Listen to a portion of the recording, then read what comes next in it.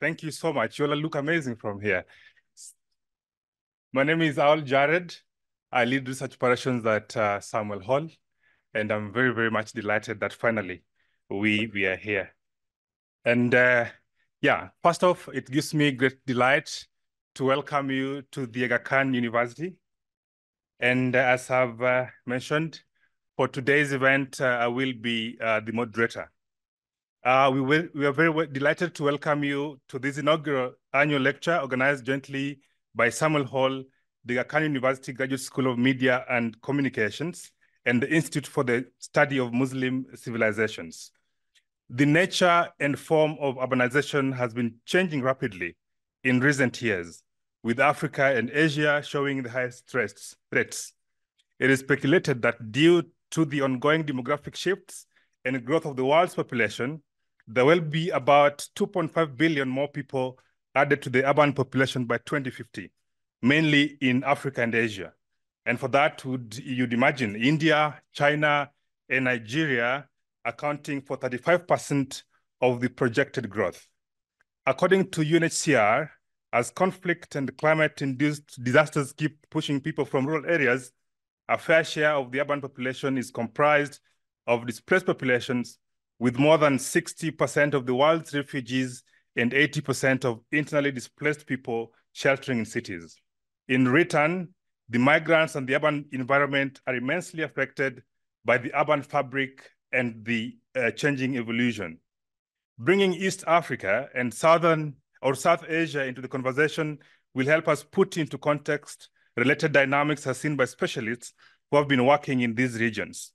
The themes that will be covered today are related to extreme heat's impact on urban dwellers, including migrants, and will prompt us to think about the role of urban planning to build sustainable cities and environments that are inclusive of migrants and responses to thermal justice or thermal injustice, if you may. In addition to this, we have a photo exhibition, Beyond Borders, Beyond Labels, that portrays migration's eternal and evol evolving nature it features photos from Samuel Hall's Dreams Project and insightful pictures uh, by Mo Amin from the Camerapix Library, who are represented today by Salim Amin, the chair and founder. We'll get a chance to interact with him later in the day. The event will also include a documentary screening in the afternoon and a Q&A session. To start us off, I have the honor of introducing uh, the Dean at the Aga Khan University's uh, Graduate School of Media and Communications, Professor Nancy Booker. I'd like to just share briefly uh, her profile. Uh, professor Nancy Booker is an associate professor of media and communications, specializing in digital journalism, media management, and leadership and strategic communication. Nancy served in Kenya's Media Complaints Commission for a period of three years between 2020 and 2023 and is presently the Vice President of the Africa Journalism Educators Network. She also serves on the board of the East Africa Communication Association. Nancy holds a PhD in communication and media studies and is a certified professional mediator. Please put your hands together as she takes the stage. Good morning. Uh, and as we say in East Africa, habari za asubuhi. Good.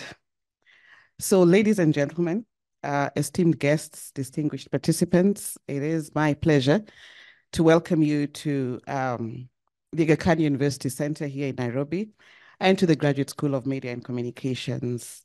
We're very delighted uh, to be collaborating with the Institute for the Study of Muslim Civilizations, uh, the governance program at the Aga Khan University and Samuel Hall to bring together this annual lecture and a workshop that promises to be quite uh, informative. This occasion is significant for us uh, in our academic calendar here at AKU because it's happening as part of AKU at 40 celebrations, which come to an end in March this year. We began this in March uh, of last year. And we couldn't be happier that this is one of the events that truly showcases the one AKU that brings together departments uh, from across the various geographies that AKU operates in. But more importantly, I think it also just shows the rich tapestry of expertise and disciplines across AKU. I am delighted that what started off as a chat with Sana um, one morning, uh, you know, has come full circle, and we are here today uh, uh, to to learn. Um, this year, we gather under the theme Asia and Africa in conversation, cities, migration, and climate change. And as we embark on what promises to be an enlightening two days, we are confronted with the intricate intersections of two continents, each with its unique tapestry of culture, history, and, and challenges. And this is a theme that resonates very deeply with the complexities of our modern world, where global conversations are essential for addressing shared concerns. And it's interesting that, you know, as a university, we exist in these two uh, geographies.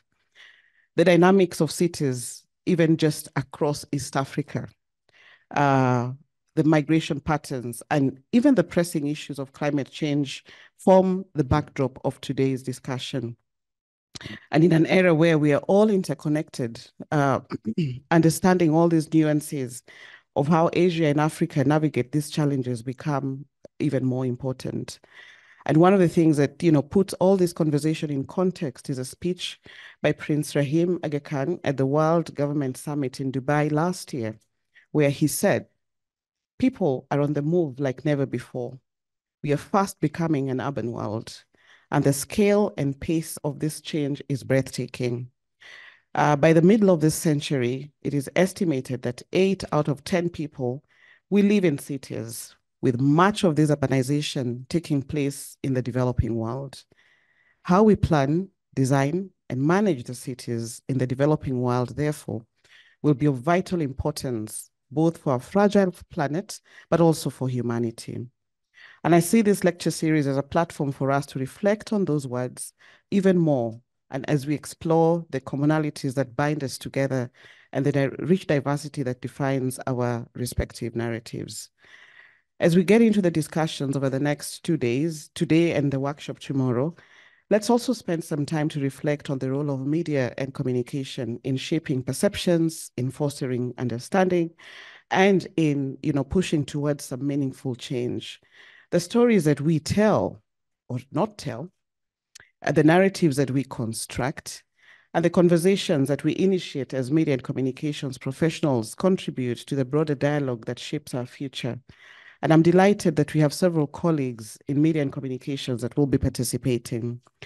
Some of these discussions and recommendations will also go a long way in defining not just our professional development offerings at the Graduate School of Media and Communications, but will also form part of the discourse in our academic programs, and more importantly, in our soon to be launched Master of Arts in Strategic Communication.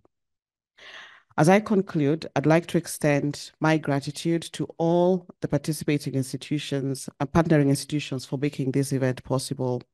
It is truly a showcase of what is possible when different people uh, with different ideas come together. I look forward to participating and to listening to as many of the speakers as possible. And uh, as GSMC, uh, we commit to stimulate thought, to foster even deeper collaborations. This is just the beginning of, you know, much more and to inspire action around the key issues that will emerge from the deliberations as part of the foundation for a future where Asia and Africa converse not only in words, but also in shared solutions. And we take this, you know, uh, with a lot of um, dedication. I thank you and I wish you all an enlightening and enriching Samuel Hall annual lecture and um, and also a great time at the workshop tomorrow. But also as we uh, you know walk through the exhibition, that will also be a time of learning and reflection. Asanteni sana. Uh, again, it is uh, my pleasure to introduce to you uh, uh, the chairperson of this year's uh, lecture, Dr. Nasim Majidi. then later she'll be um, introducing the speakers, you know, for today. Um, first off, uh, Dr. Nasim Majidi is the co-founder and director at Samuel Hall, a social enterprise that conducts research in countries affected by issues of migration and displacement. Over the past three years, she has been leading participatory forum, forum planning sessions with civil society and municipal stakeholders as part of a consortium on protracted displacement in an urban world in Kenya, Ethiopia, Jordan, and Afghanistan. She also has co-edited with Professor Karen Jacobsen, uh, who I'm told uh, was to be here today, but for some reason hasn't made it. Uh, the Elgar Handbook on Forced Migration, published in October 2023, with a section dedicated to urban issues alongside philosophy, history, and lived experiences of forced migration. Uh, Dr. Nasim Majidi has published over 200, you know, uh, policy documents in uh, different, you know, publishing entities. Um, today, she will chair this annual lecture and invite our discussants to reflect on participatory approaches and co-production practices. Uh, ladies and gentlemen, put your hands together as she also takes the stage. Jared, you're always too kind with me. I didn't publish 200. I did publish over 20 papers, but my team at Samuel Hall has been prolific uh, and a great support. Um, so hello, everyone. Um, welcome, Karibu Khosh Amadid. Uh, I'm very pleased to be here. Um, so my name is Nasim Majidi, and I was born in 1981 in post-revolutionary Iran. My parents fled when I was five, and I spent most of my early years growing up in France. But as I was reflecting on the meaningfulness of today's gathering, I realized I've spent more time living in Asia and Africa than anywhere else in the world and I'm very proud of it. 17 years of immersion, first in Afghanistan, in Central Asia, not far from where Nosheen is, is from, just neighboring countries, and Sana. Um, spent years in Afghanistan, where we founded Samuel Hall with Hervé, um, to understand how cities like Kabul went from half a million before 2001 to over five or six million inhabitants in just five or six years how to cope with that. How do they cope with that? How do city planners cope with that? Um, and then we came here to Kenya 10 years ago. Um, and I've spent most of the last decade across Ethiopia, Somalia, Kenya, similarly trying to understand why we still have so many people living in camps when we know how much they have to offer and how much cities have to offer. So we have tried to make sense of individual experiences, but also collective responsibilities that we have. And as researchers, we've made great strides in finding answers, but there's still so many questions and answers. And that's why I'm so grateful to have you guiding us today, our three speakers, to help us give meaning and make sense. They will take you through multiple spaces and places and will speak to one common experience, understanding and building human tol tolerance and endurance to um, climate change in cities and from the perspective of migrants. It's fundamentally also a full day dedicated to climate justice and to imagining urban futures. We will be talking about places and populations impacted for years. The photo exhibit shows us a historical perspective on these questions um, who have been impacted by the effects of the biggest polluters in the world, which are not in this room or which are not in this region, um, with disproportionate impacts on social populations. So let's make this two days a participatory one and a call for climate justice and more justice overall. When we set up our research organization, Samuel Hall, uh, in Afghanistan in 2010 and in Kenya 10 years ago, it was really with a dream and a mission that we would tackle some of these tough conversations with a critical, with an independent perspective to advance comparative research across Asia and Africa on the lives of the displaced, the hosts, women, men, girls, boys, across Afghanistan and Somalia first. That was our initial comparative angle that we wanted to take um, to understand how internally displaced populations were also living, how, how people who weren't able to escape um, the impact of climate change were living, uh, but also comparing Kenya and Pakistan, two of the world's largest refugee hosting countries in the world. And all of these countries home to cities that are among the fastest growing cities in the world. We always had an urban bias. From the start, we have advocated for a world without camps as camps were increasing and multiplying all over. Um, for access to protection, to jobs, to services in cities and in peri-urban areas. We also have a bias towards co-production and participatory approaches. We want solutions to be co-produced, co-designed, um, and Jared mentioned one of our ongoing programs right now, our ongoing projects on protracted displacement in an urban world is dedicated to that. We're leading a work package on participatory planning processes. So how to actually plan urban solutions with those who have so so for so long been left out of the conversation, uh, the displaced themselves, uh, community representatives, but also urban planners. We're talking about issues that most humanitarian and development actors aren't equipped to tackle. We need urban planners in the room, and we we have such a great representation here today. I also wanted to mention why this event is significant to me. Um, as a migrant, as a researcher, as a woman, as an activist, I'm proud to live in Africa, a continent that is today home to governments who are leading the defense, uh, the strongest defense for our shared humanity um, in multiple cities and forums throughout the world who are where other governments are failing. So Africa is taking the lead when others aren't.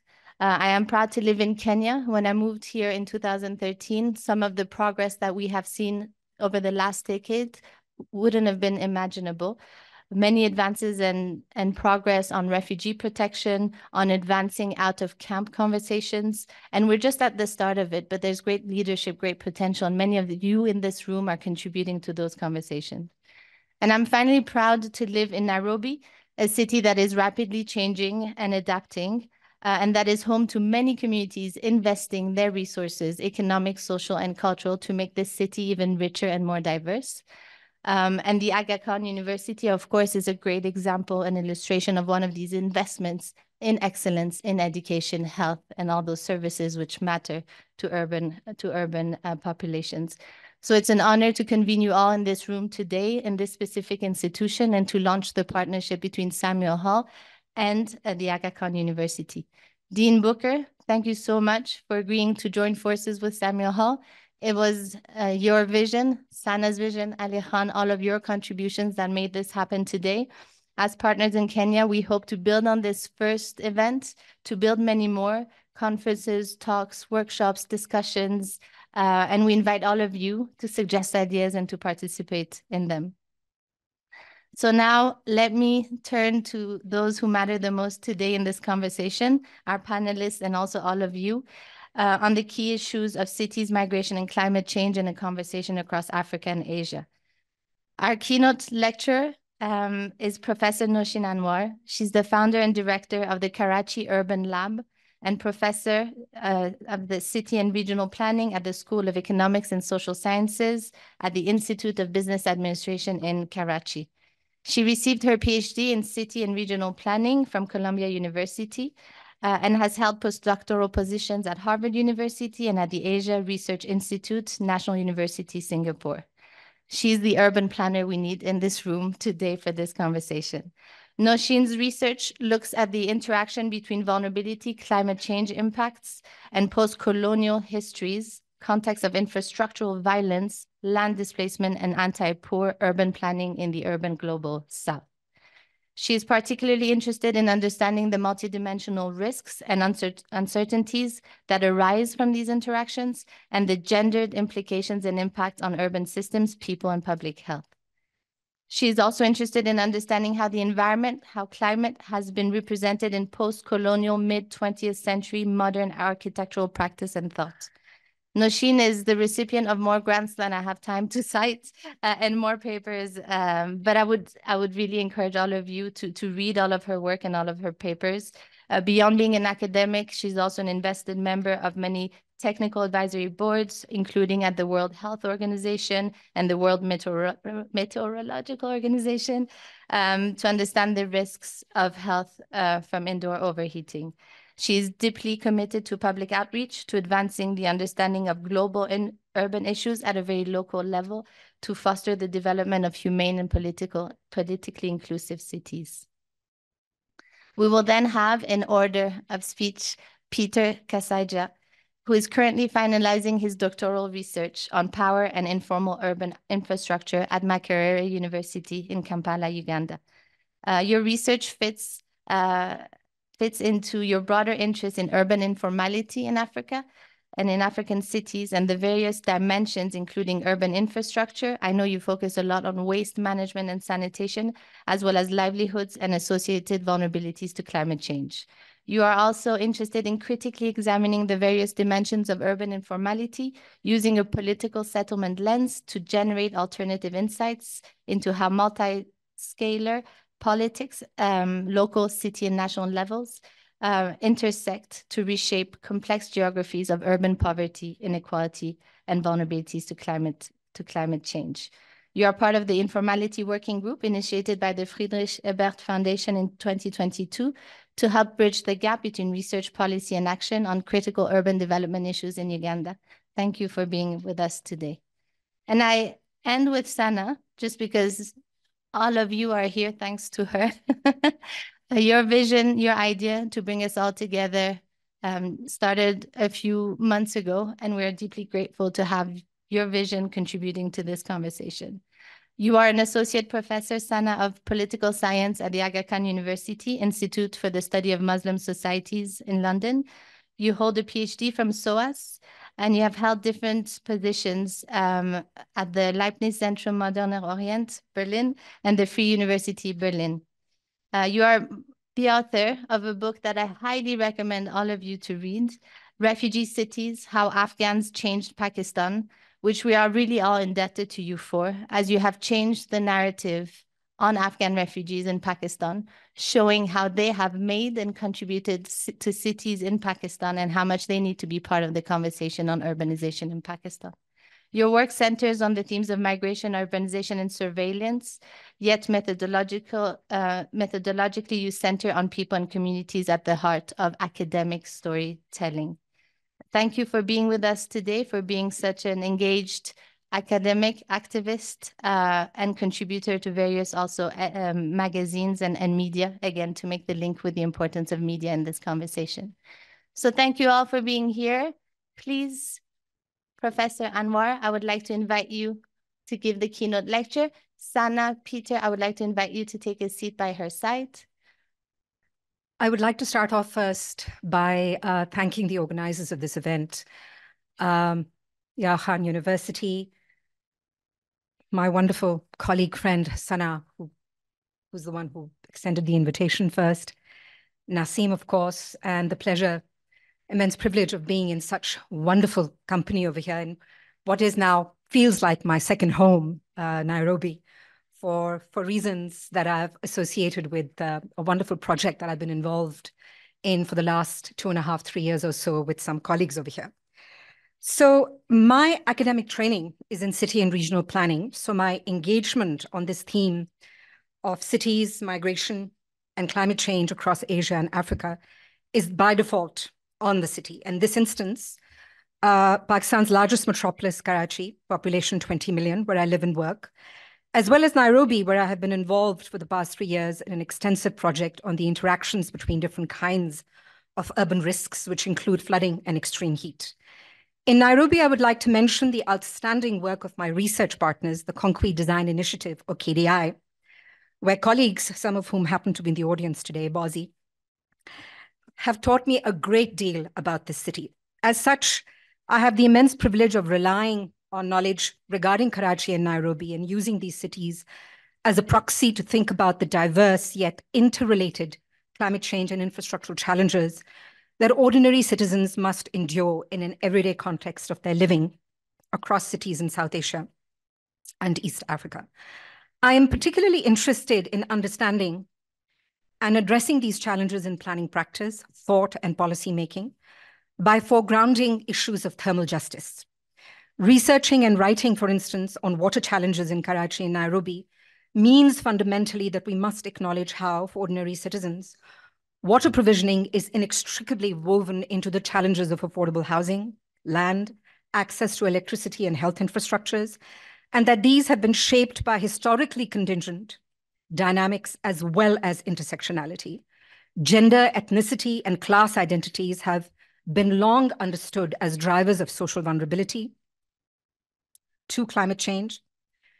Um, the way interactions between urban infrastructures such as water, climate change, and other risks play out through such social divisions is often invisible. So in my presentation today, I'm considering extreme heat and its implications for residents of low income, informal settlements in cities across South Asia and East Africa. Globally, rapid urbanization and increasing temperatures have positioned informal settlements and their experiences of severe heat waves and chronic heat stress, which are two different kinds of things, and the built environment as a major concern for urban climate change researchers. The Climate Impact Lab's 2019 report states that the global rate of heat-related mortality is predicted to reach 85 per 100,000 people by 2100, with lower-income people expected to experience rates of over 100 per 100,000 people. With 68% of the world population projected to live in urban areas by 2050, cities are expected to become, if they are not already, the epicenter of future cooling energy demand. Cities are critical focal points for addressing climate change impacts because of their high population densities, compounded socioeconomic vulnerability, deteriorating infrastructures, and the unique challenges posed by the urban heat island or UHI effect and wider ecological degradation, all of which necessitate careful planning and mitigation strategies. Within cities, variation across microclimates is associated with heat-related mortality and morbidity, and low-income communities are at a greater risk of injury or death during heat events. South Asia is considered very high risk, with hot seasons prolonging and changing monsoon rainfall, rainfall patterns, generating unmatched effects on living conditions, livelihoods, and especially food security. This is particularly evident in the frequency of lethal and prolonged heat waves, combined with rising humidity that have killed thousands of people across India and Pakistan. Even as people have lived with heat in South Asia for centuries, anthropogenic climate change is changing its nature. In 2023, soaring temperatures of 43.5 Celsius killed more than 200 people in the Indian states of Uttar Pradesh and Bihar, with morgues full and hospitals over capacity. In 2015, a deadly heat wave killed more than 1,200 people in Pakistan's largest city, Karachi. Heat-related deaths are very, very hard to pin down. When hospitals are overwhelmed during a heat wave, it is often impossible for medical staff to dedicate the time to clinically establish it which gives authorities the excuse to easily downplay the numbers. Such deaths also signal the deadly nature of extreme heat on classed bodies.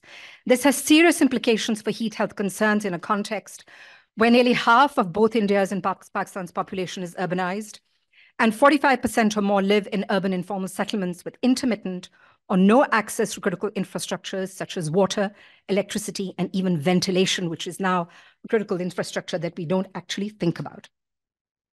Temperatures in Africa too are rising at two times the global rate. Over 300 million urban Africans will be exposed to 15-day heat waves over 42 Celsius by 2100. Children born, children born in Africa in 2020 are likely to be exposed four to eight times more heat waves compared to people born in 1960. In a changing climate, heat and heat exposure are growing concerns. Currently, extreme temperature is one of the deadliest forms of climate hazards worldwide. This burden is projected to increase as the climate warms, but it will be and already is unequally distributed, with heat exposure in some African regions, including East Africa, projected to increase by two orders of magnitude relative to that in Europe. Bouts of recurrent droughts are impacting livelihood systems and mental health as a compound risk. Climate change in Kenya is expected to increase risk and severity of flooding events while also furthering the likelihood of drought in some areas.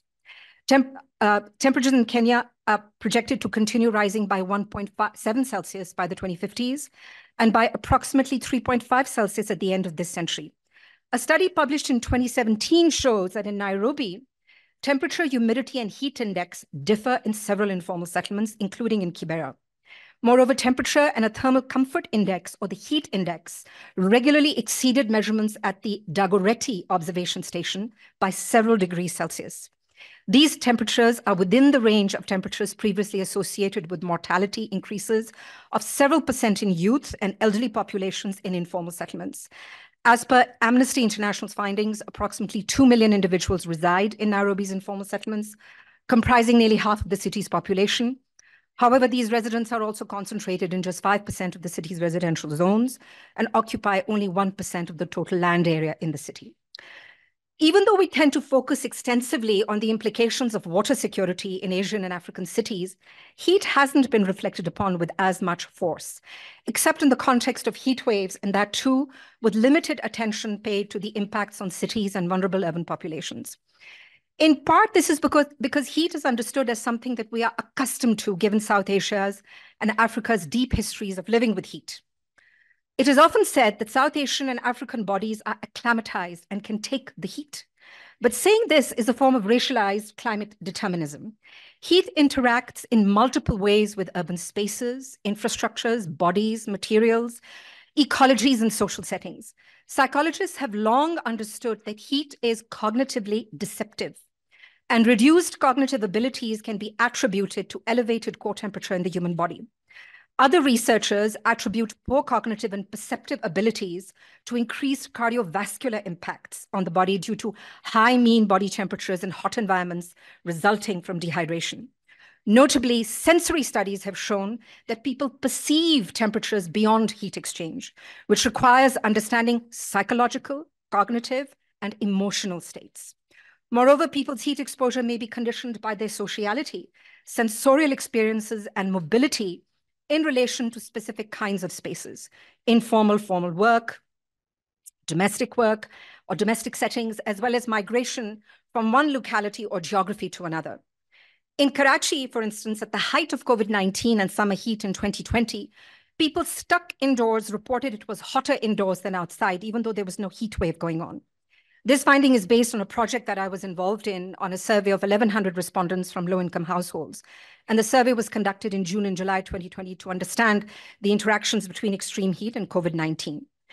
Just as water is a critical substance to produce food, to cool our bodies, to hydrate, and even to chill, and I am thinking here of chilled water, liquid immersion, geothermal cooling, evaporative cooling, and so forth, that are critical for sustaining hyperscale data centers, and ice and refrigeration for sustaining cooling chains, heat too is a critical substance that gives energy on our living planet. Think of its properties as energetic, for instance, solar energy, and even the energy fed from fossil fuels that has enabled cooling technologies such as air conditioners that modulate our thermal comforts or our protective bubbles of the magical number that is 22 Celsius. In reflecting upon energy derived from the sun, the French philosopher Georges Bataille wrote in the late 1940s that solar energy is both the source of life's exuberant development as well as the origin and essence of our wealth. The benevolent dimensions of this energy have been critical for the varied inhabitations on our planet. In his formative piece, The Climate of History, Four Theses, the eminent historian Dipesh Chakrabarty reminds us that the waning of the Ice Age was the result of the Milankovitch phenomena, the orbital and tilt relationships between the Earth and the Sun, a relationship that gave rise to certain parametric conditions under which the temperature of this planet stabilized and enabled wheat and barley to grow. Without this, quote, fluke of nature in the history of this planet, our industrial agricultural way of life would not have been possible, end of quote, nor our technical choices and our fossil fuel-fed thermal freedoms.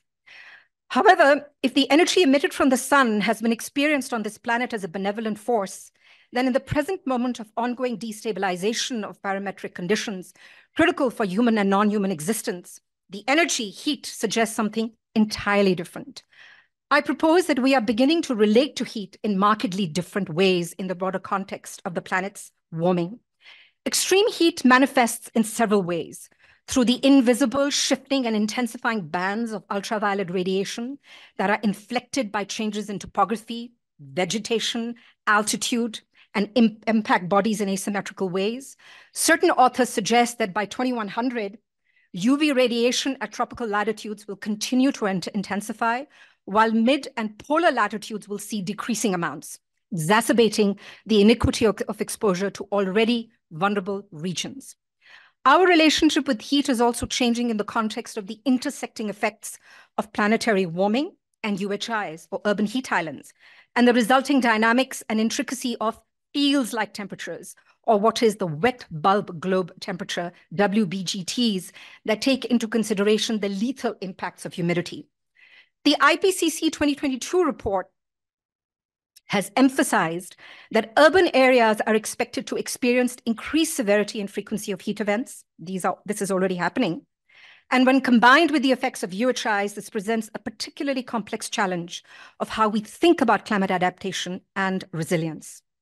At the city level, the risks are significant. If I may use the example of Pakistan, in May 22, the city of Jacobabad, which has a population of 191,000, situated in the southern region of Sindh, the city recorded six days when the WBGT exceeded the limit of human survivability, 35 Celsius. That is the limit of human survivability.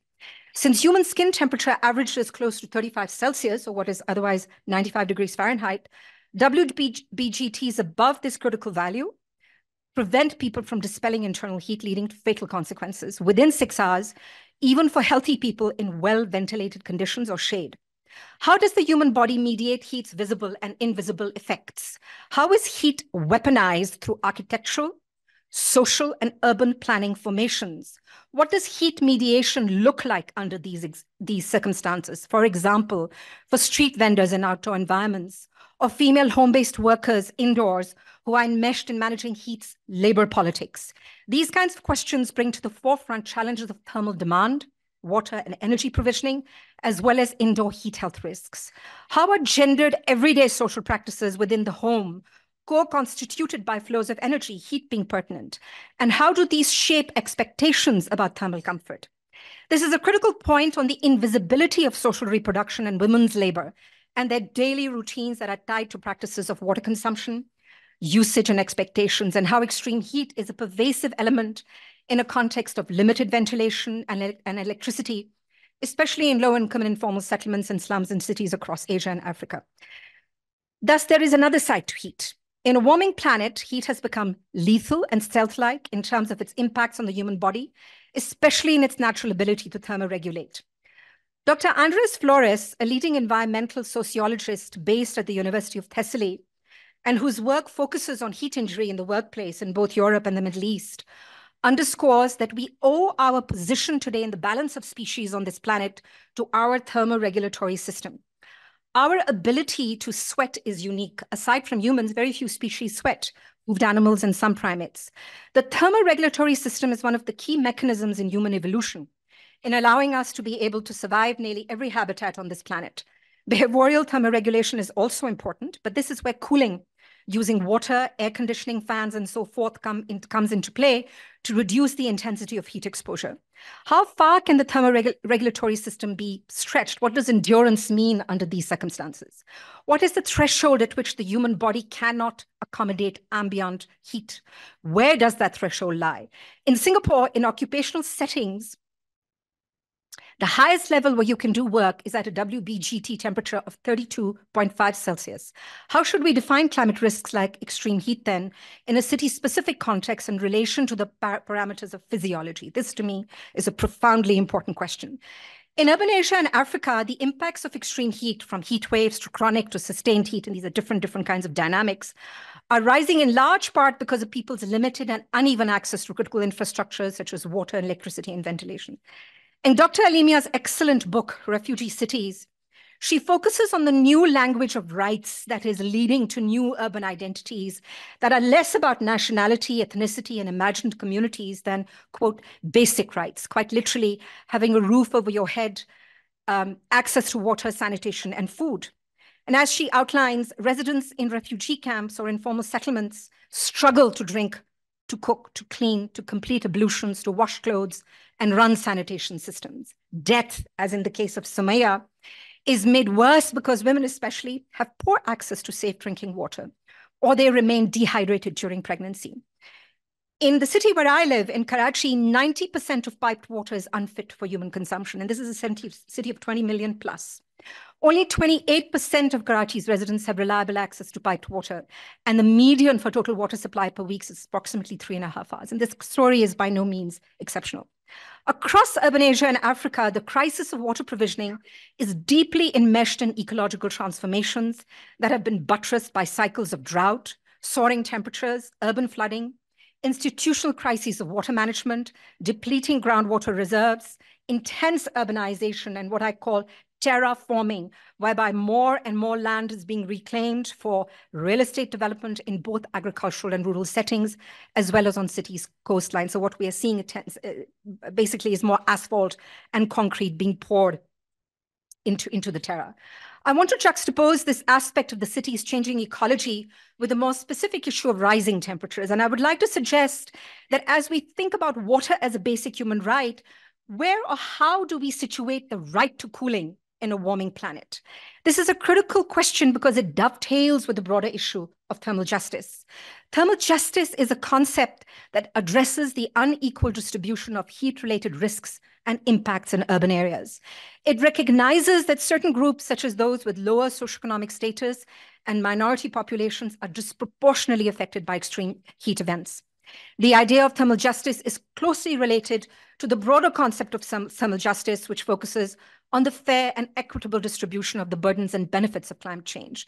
Climate justice frameworks, including thermal justice, aim to address these inequities by paying attention to how climate change impacts people different, differently and redressing the result, resultant injustices in fair and equitable ways. This also requires then analyzing power dynamics and the intersecting set of social inequalities that underlie the global economic system critical climate justice approaches, which incorporate insights from intersectional and international feminist scholarship, can help foster solidarity and collective action in addressing climate injustices or thermal injustices. And I'm thinking here of the work of uh, wonderful uh, feminist geographers like Farhana Sultana. While the use of appropriate heat measures is crucial to analyze differences in urban microclimates, and particularly in problematizing how we understand heat on a spatio-temporal scale, and in relation to vulnerability, the time has come for a different kind of intervention, methodologically and conceptually, of understanding and investigating the impacts of extreme heat on vulnerable citizens in cities across Asia and Africa. At the Karachi Urban Lab, my colleagues and I have been looking at what I call layered modulations of heat as a destructive force in both its visible and invisible manifestations placed in the context of everyday environments and inhabitations, keeping in mind gendered practices of heat risk mitigation as well as cultural context. Thus, understanding heat mediation through architecture, social practices, clothes, cooling technologies across a wide spectrum of housing and occupational typologies, including informal settlements and informal workers. So I want to underscore a fundamental point. Heat is constructed in the built environment, right? It mediates with global warming and UHIs, but it is constructed in the built environment by social, political, and economic processes. Although heat is a deadly threat exacerbated by the way developers and urban designers construct the built environment, we do not treat it as a form of environmental pollution for which development is regulated. During processes of development, engineered materials replace living organisms and seal soils. Both processes reduce the role of moisture regulation and cooling. Engineered materials alter the reflectivity of the land surface. Industrial and transportation activities produced waste heat emissions, as do buildings with air conditioning. All these factors combine to create differential risks across the urban la landscape at granular neighborhood scales. In reframing how we understand heat, we must also go beyond understanding it as a meteorological event to understanding it as a form of institutionally sanctioned violence. Moreover, that we separate heat from temperature itself. Temperature is a discursive concept produced approximately 300 years ago during colonial rule. Distinguishing between temperature and heat means temperature is more about determining how certain materials respond to energy fluctuation in a controlled environment than about relative warmth. Heat is constructed discursively as an objective meteorological fact. In other words, while studies are revealing patterns of inequity, they are also disembodying its meaning. While spatial mapping and statistical analyses, which operationalize social difference indices, draw attention to differential health vulnerabilities, they also reduce the politics of heat to a mere numeric value. Extreme heat, thermoregulatory disruptions, shift a person's capacity for life, altering his or her breathing, metabolism, and awareness. But the impacts of overheating are also a cultural technique constituted by manipulations of materials such as air conditioners, fans, water, food, ventilation systems, circulatory nodes, or lack thereof. The interactions between water scarcity and extreme heat, as well as ventilation, um, and electricity are leading to the slow onset of deaths that are differentially produced and differentially lived through being intimately tied to the social production of class, race, gender, and age, as well as how our cities have been built historically in Asia and Africa. Those who focus only on the outside may view extreme heat in comparison to flooding as a lesser evil, in part because of the invisibility and the indeterminacy of heat effects, the fact that thermal effects are varied, dependent on context, and the particularity of the human or the non-human body makes them illegible in rubrics of harm. Perhaps one of the most tangible arguments for deeper interrogation of indoor environments is from a public health perspective. The WHO has recently drawn attention to overheating indoors as critical threats to the health uh, of vulnerable populations living in developing countries. And I think here of schools, of indoor environments and informal settlements and slums, of prison systems, and so many other indoor environments. So finally, this brings us to the challenge of cooling adaptation, the right to cooling, and resiliency in the context of the SDG 7. If I may use the example of Pakistan again, 30% of its population, that's 220 million, doesn't have access to electricity, and the rest receive an intermittent supply with a daily load shedding of six to eight hours a day. Hence, investigating heat exposure and stress in refugee camps and informal settlements, in slums, in constricted environments is critical to support effective adaptation strategies. Lack of access to, to basic residential cooling when needed, which is called the cooling gap, is increasingly considered a dimension of energy poverty. And we don't even really talk about any energy poverty as, as much, though still largely overlooked and especially at the urban scale. Thus, there is an urgent need to scale up urban knowledge to inform in a socially and thermally just way policy and planning agendas for a climate resilient urban future for urban Asia's and East Africa's vulnerable citizens. Thank you. Anyone still catching their breath after that presentation? Thank you so much, uh. It's uh, quite an insightful presentation. There's so much we could pick from that. And I think uh, you've already kind of like spoken to some of the responses I'm going to give to that uh, presentation that you made about thermal injustice or thermal justice for that matter. Um, I'll speak to the presentation from a book chapter I'm kind of like in the process of preparing with some other colleagues. And in this particular book chapter, we're looking at five critical elements, of which one Nosheen has already spoken about the element of endurance.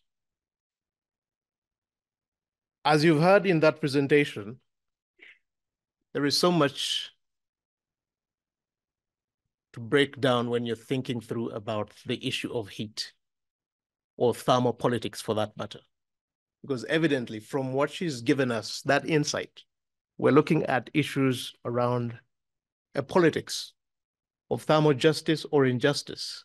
We're looking at power, power structures, how are they constructed? How are they maintained? And from that perspective, as Nosheen has uh, forcefully presented, we need to think differently about the issue of thermal justice or injustice for that matter. The work from which I'm speaking from, that is this book chapter that I'm preparing around the issue of endurance the broader title of the book is called Displacement Urbanisms, where we try to kind of like engage more deeply with the issue of displacement.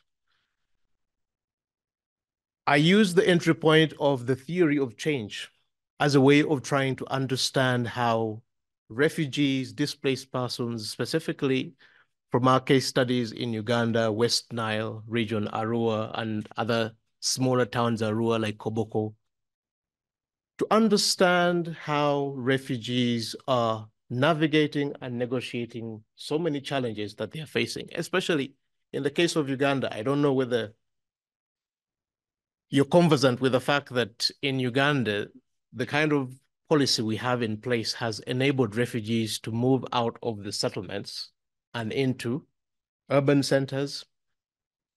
And one of the unique conditions we have in Uganda is that refugees are actually recognized, those who have moved to the capital, Kampala, but they're not actually recognized in other secondary cities or in other urban areas. And that creates its own difficulties and challenges. But we are looking at refugees from the Democratic Republic of Congo, South Sudan, and we're trying to understand the modes of urban habitation. How do these different refugees engage with the issues of survival, endurance, everyday experiences? How do they access social services? How do they access housing? How do they deal with and experience thermal stress or injustice? How do they negotiate the impacts, as Nosheen has uh, explained? quite in depth.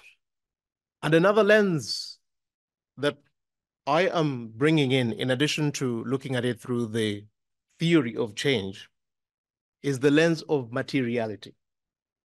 And I think this has also kind of like come out in Nosheen's presentation. I think it's time that we started looking at thermal stress or heat stress, thermal injustice from the materiality perspective. How do we relate with our material world?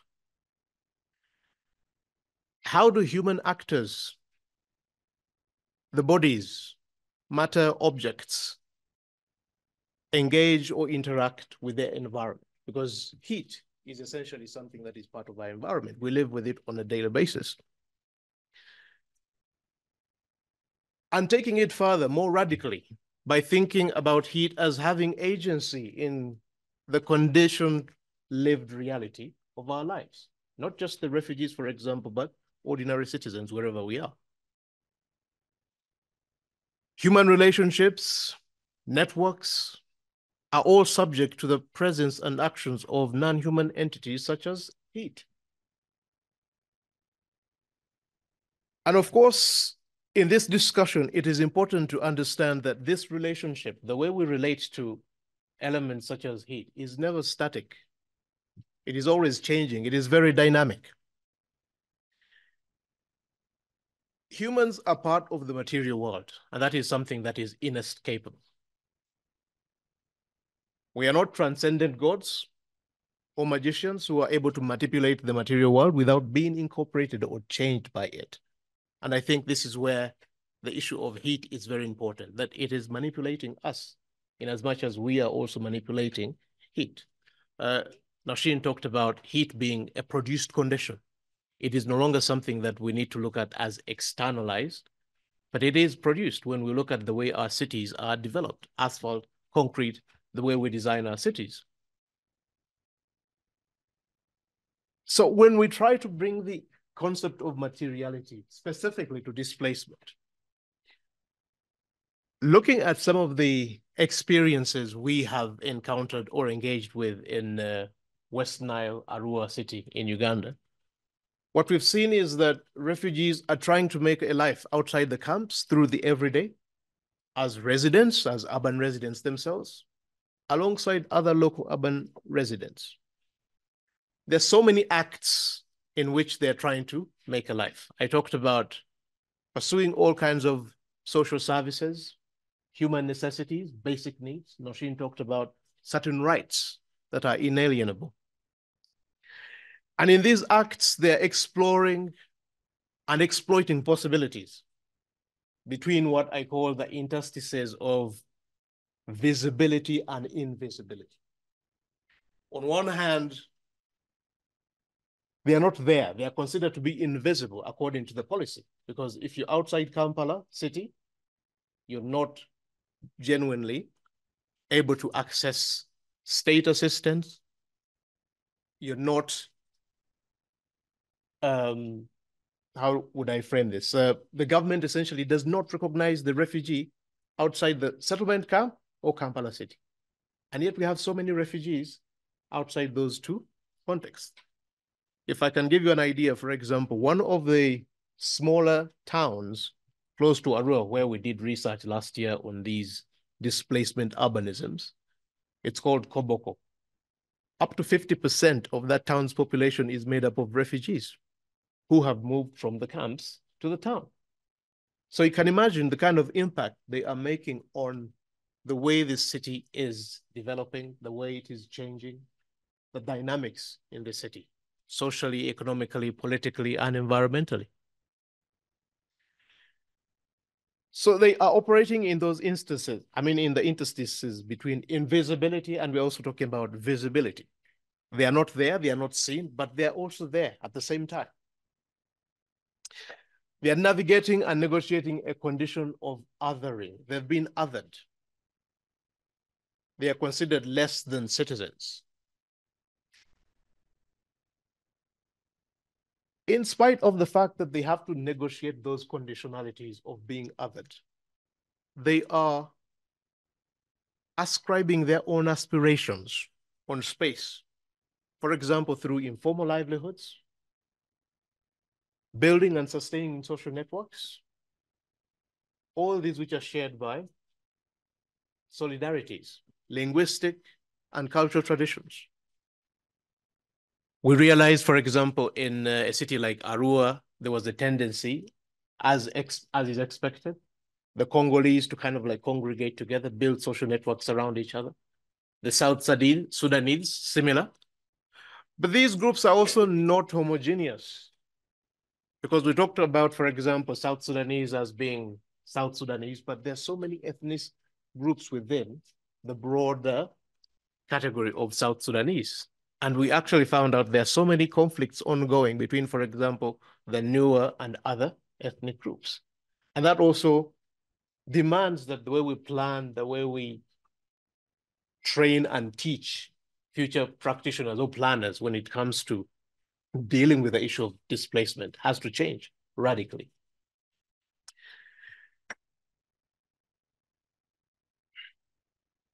The refugees are essentially living with yesterday's trauma alongside today's pressures. Emotional distress due to loss of social networks and relatives, social disconnection, isolation, segregation, and conflict. These are all part of the everyday materialities of displacement. And all these are impacting on their levels of motivation, their productivity. In one case, we had a story of a woman who almost committed suicide. She had about five kids. She was tired. She was sick of the life she was living. So she dressed them up one morning, handed them over to the to a representative at the office of the prime minister, because in Uganda, the office of the prime minister is playing a major role in managing and overseeing the implementation of policy around refugees. And her plan was to go back home and hang herself. But she later changed her mind. Now, those are the realities that we're living with in terms of the materiality of displacement. But above all, if I could bring it back to the conversation we're having about thermal stress, thermal injustice, these challenges that the refugees are facing are exacerbated by an environment which is characterized by heat and heat-related stress. The West Nile region is one of the regions that in Uganda experiences heat waves, cold waves, almost on a consistent basis. And all this challenge around heat stress, heat injustice, or justice is exacerbated by the fact that they don't have access to good quality housing. And that will have a knock-on effect on their health and ultimately their productivity. One interesting feature that has definitely emerged from this is that newer and older refugees are displaying very different modes of how they are living and experiencing these various challenges. Especially when you look at the way they are navigating issues around thermostress and associated risks and hazards. Because now we need to start talking about, as Nosheen has said, or talked about, what are the risks, what are the hazards related to thermal stress or thermal injustice and justice? And our thinking is that theoretically, conceptually speaking, we need to start looking at urban habitation by refugees as a continuum. From survival to endurance. It is never static. It is never the same. It is always changing. And one of the central ideas in our discussion is to look at endurance as essentially the intersection between displaceability and disposability.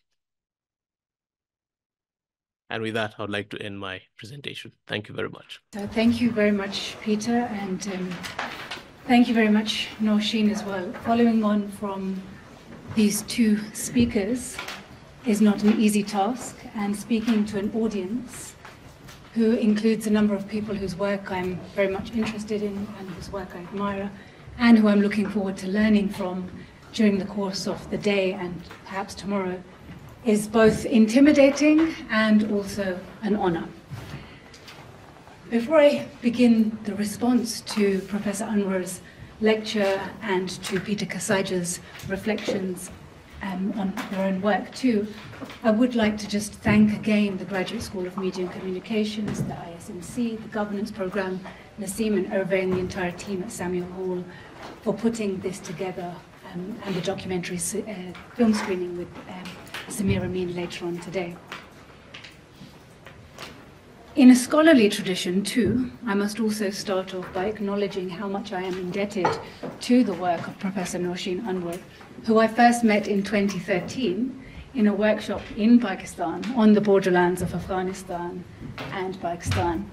It was quite a fun occasion, and I think that, uh, that memory has been crucial to our uh, bond, I think, over these years of shared intellectual interests, as well as shared interests in mountains and monkeys.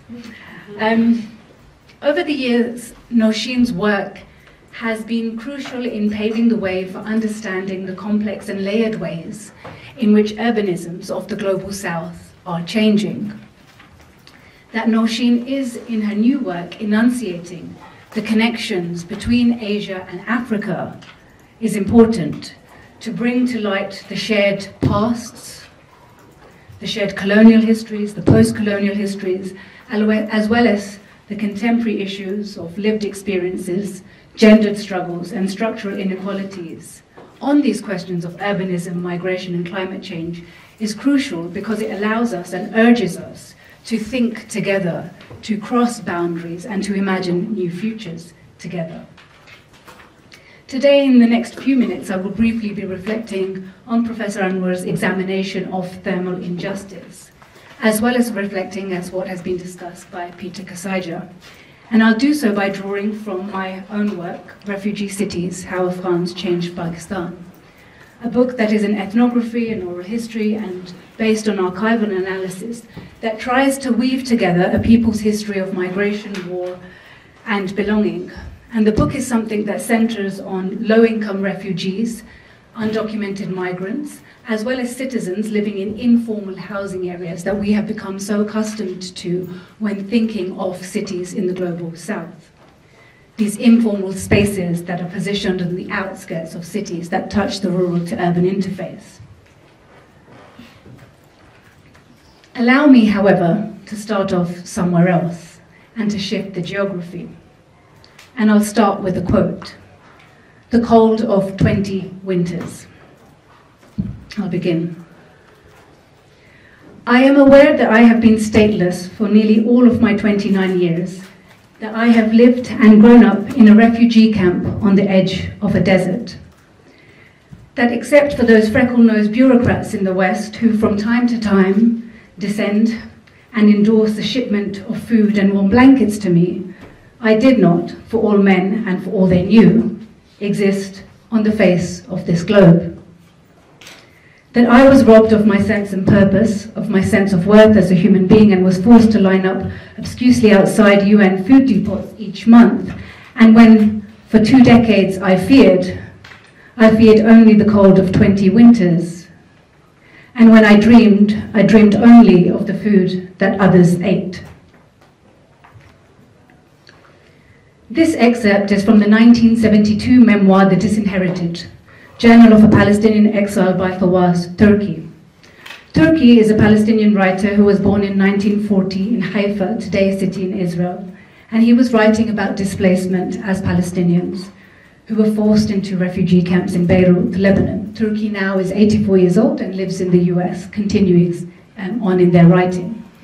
And I wasn't planning on bringing on my response starting to Nosheen's work with Fawaz Turki, um, perhaps because of what has been unfolding and being live streamed across our screens over the past few months.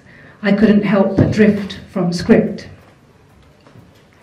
But I also turned to Turki today because when I was asked to respond to Nosheen's work on thermal justice and thermal injustice, it was these lines that kept on coming to my mind. When for two decades I feared, I feared only the cold of 20 winters, and when I dreamed, I dreamed only of the food that others ate. I read The Disinherited perhaps 19 or 20 years ago, but writers, be they scholars, be they journalists, be they media practitioners, be they storytellers, when they are fearless of confronting and revealing the truth, have a way of searing onto our memories words such as these. Searing onto our memories the corporal realities, emotions, and sensory experiences, the fears, the wounds, the cold, the heat, the hunger of their subjects, or in Turki's case, of themselves. For those of us, such as myself and others who are in this room today, who choose to write social histories and people's histories, who choose to write on the margins and from the margins, Turki's words remind us of our obligations to take seriously and to center as best we can the voices, the lived experiences, the bodily and sensory experiences of those who are forgotten, those who are disinherited, or as another writer, Arundhati Roy, tells us, to give voice and space to those who are deliberately silenced or preferably unheard. Alongside the task of documenting and bearing witness and creating spaces for methodological disruption and interventions in the works that we do, the writer, the scholar, the journalist, the storyteller also bears responsibility to contextualize and render visible the structures and conditions that allow inequalities and injustice to persist. Turki does this in the passage that I have chosen to bring to this space with you today. So too, of course, does the work of Nosheen Anwars. So too does the work of Peter Kasaija, and so, do I, so too do I try in my own work. On the question of thermal suffering, Professor Anwar asks us to consider that temperature is not something that is disembodied. It is not an apolitical thing. I think what we have learned from you today, of course, is that experiencing thermal suffering with attention to heat, as well as the cold, is bodily, intimate, and political. Indeed, citing the late great urbanist Mike Davis, Anwar tells us in her writings that shade, that thermal justice, is, of course, an inalienable human right that we must be striving for. In my own work, the vulnerability of the homes of refugees and citizens in informal housing areas as well as refugee camps that are vulnerable to ecological disasters or being uh, swept away in floods or flash flooding or of being subjected to extreme heat or extreme cold or facing extreme conditions of poor sanitation were widespread alongside documenting deportations or cases of, law, of, uh, of violence enacted by law enforcement agencies, something that I won't delve into here. The book, in many ways, is a testimony of life on vulnerable ecological frontiers and how it is that people try to contextualize this and also navigate this. But the book is also clear that ecologic, ecological vulnerabilities do not impact everyone in the same way, as Nosheen's work also attests to. Ecological vulnerabilities are the consequence of what another urbanist in South Asia, Arif Hasan, calls an anti-poor bias that still seems to shape how we plan our cities. There is an ideological choice that is often made that chooses not to center the life of those who are the most vulnerable, the poor, or the lower middle classes, or the refugees. In Nosheen Anwar's work and Sarvat Rikar's essay elsewhere, the idea for urban planners is oftentimes, in the case of Karachi, to produce sanitized, secure cosmopolitan spaces that are quite happy to eliminate the undesirable and the underprivileged. The fact that 5% of Nairobi's uh, land occupies over 2 million persons is a testament to this. In my own work, of course, refugees and non-citizens are oftentimes also most affected, not just because of um, vulnerabilities shaping the global south and the city, but because of longer term failings of legal integration that is oftentimes upheld by governments, but also the international humanitarian aid regime that is quite happy with the status quo persisting, with solutions being tabled, but not really structurally changing anything on the ground. Simply endorsing a shipload of food and warm blankets, as Turki said, seems to suffice. The cold is a form of thermal injustice that I know Nosheen's work elsewhere also addresses too. And the cold that I mention here uh, by Turki, but also in the communities in the low income housing areas that I work to, was a cold that instilled fear.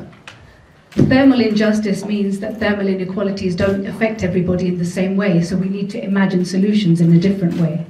For the communities I worked with, cold was something to be feared in my own work, refugees' settlements and informal housing areas would be purposely positioned on the outskirts of the city to be pushed away to make that sanitized and cosmopolitan uh, city space. In other cases, that rural to urban interface is the only place where affordable housing is available.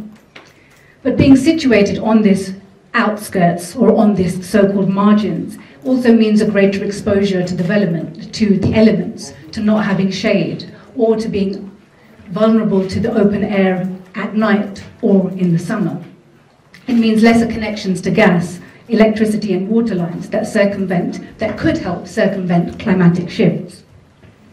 Yet in the rural to urban interface communities that I was working, what was always interesting to see is quite close by, there was always a gated housing community too, that was home to the upper classes or the middle classes, or that was being developed and pushed forward by urban developers.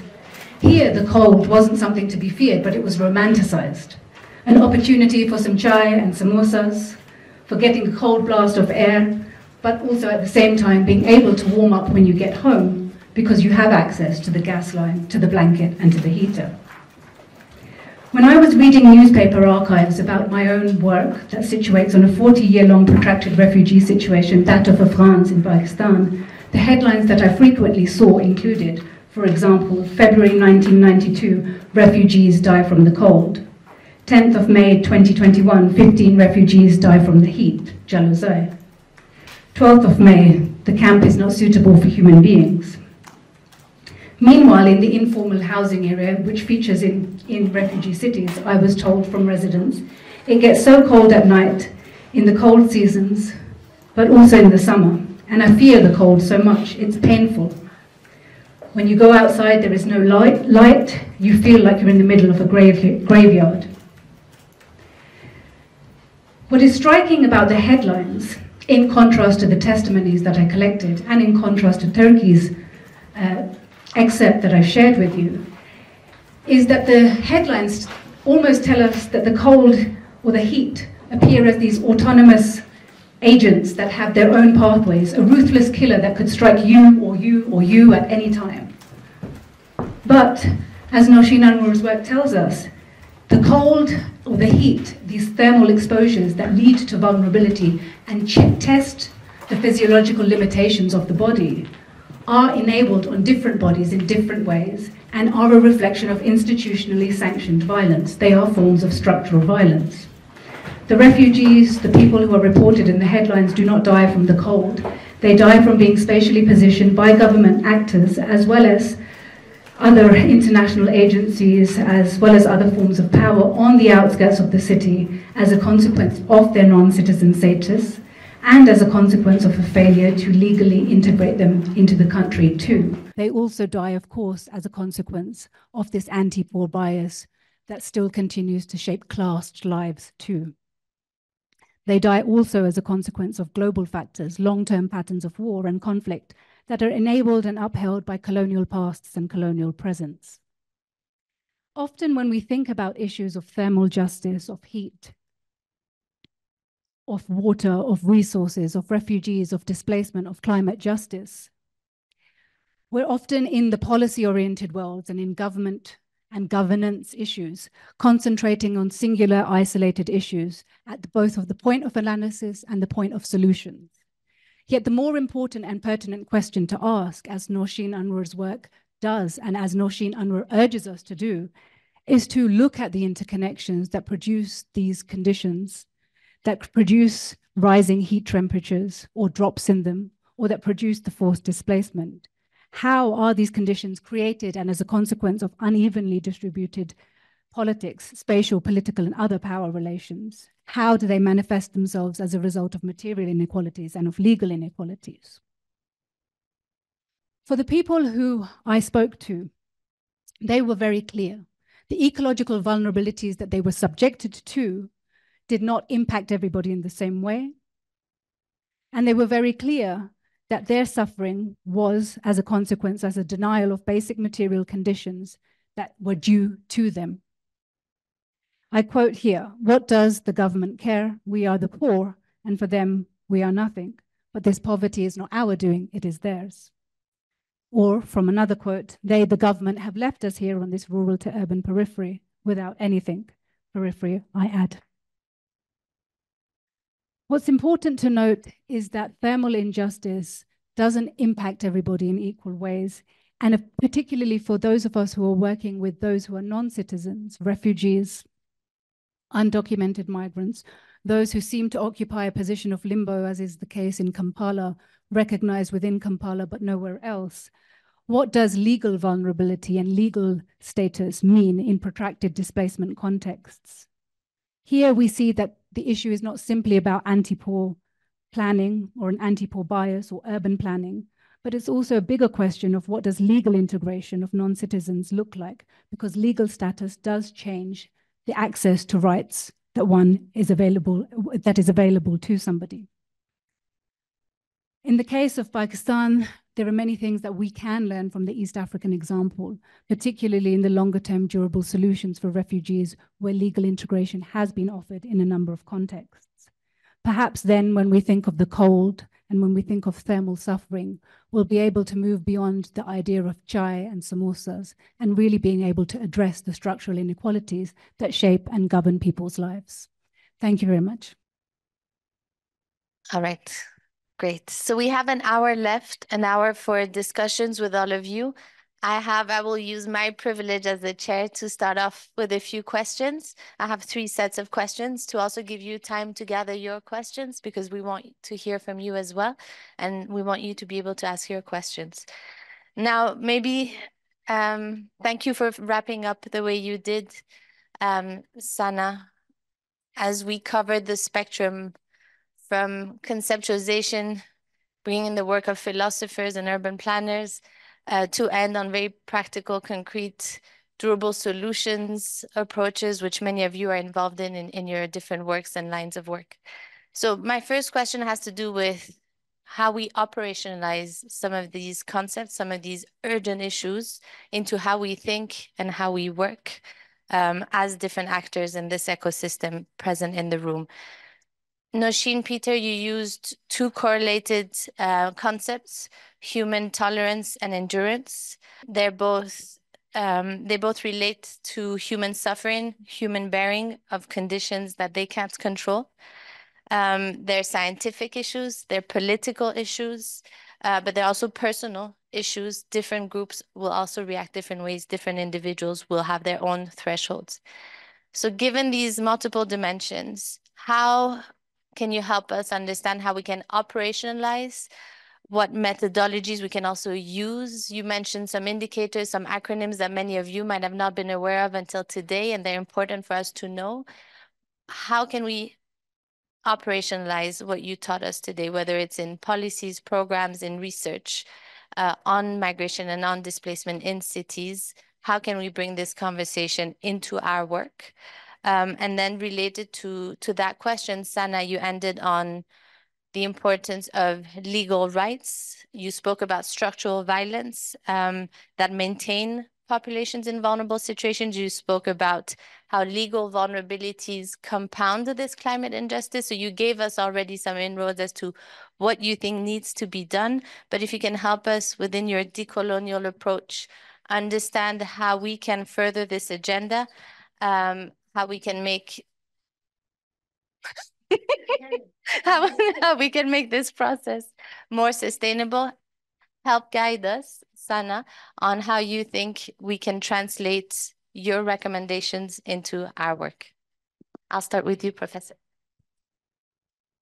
Thank you very much, Naseem. Those are brilliant questions. I'm not sure if I can answer um, in quite sort of the substantive way that one would need more time. I mean, this, the, the conversation on extreme heat and indices and data production and research and knowledge and conceptualizations and methodology could continue ad nauseum because there is an emergent field. It's called critical heat studies. And uh, critical heat studies, which has a very, very distinct urban dimension. And also dovetailing with physiology. I mean, physiology is a field that fascinates me. And I had absolutely no idea, uh, you know, uh, five years ago, six years ago, a decade ago, that I would be spending an inordinate amount of time in conversation with physiologists and reading their work. Physiology has a very specific kind, it has specific kinds of colonial roots as well. Uh, in terms of how the the, uh, the, human body has been treated in the medical scientists, medical science and medical anthropologists have had have written extensively on it. But I think one of the most important things in terms of how we understand the effects of extreme heat on the human body and even sort of non-human bodies is to engage with physiology. And it's not epidemiology. People often think, well, oh, we're talking about heat, then we should be bringing epidemiologists into conversation. No, it's not epidemiology. Epidemiology is important, but actually it's physiology that needs to be addressed. And I think, secondly, uh, in a very, very simple sense, but, uh, but the simplicity of this is lost in conversations on heat. Then when we talk about extreme heat and its impact on the body, we, we, we, we're talking mostly about ambient temperatures. Um, ambient temperature tells us nothing. It's actually the only measure of extreme heat out there today. There are many, many different measures. Uh, but possibly the most accurate measure, even that one is contested, is the WBGT, the wet bulb globe, because it takes humidity into, into consideration.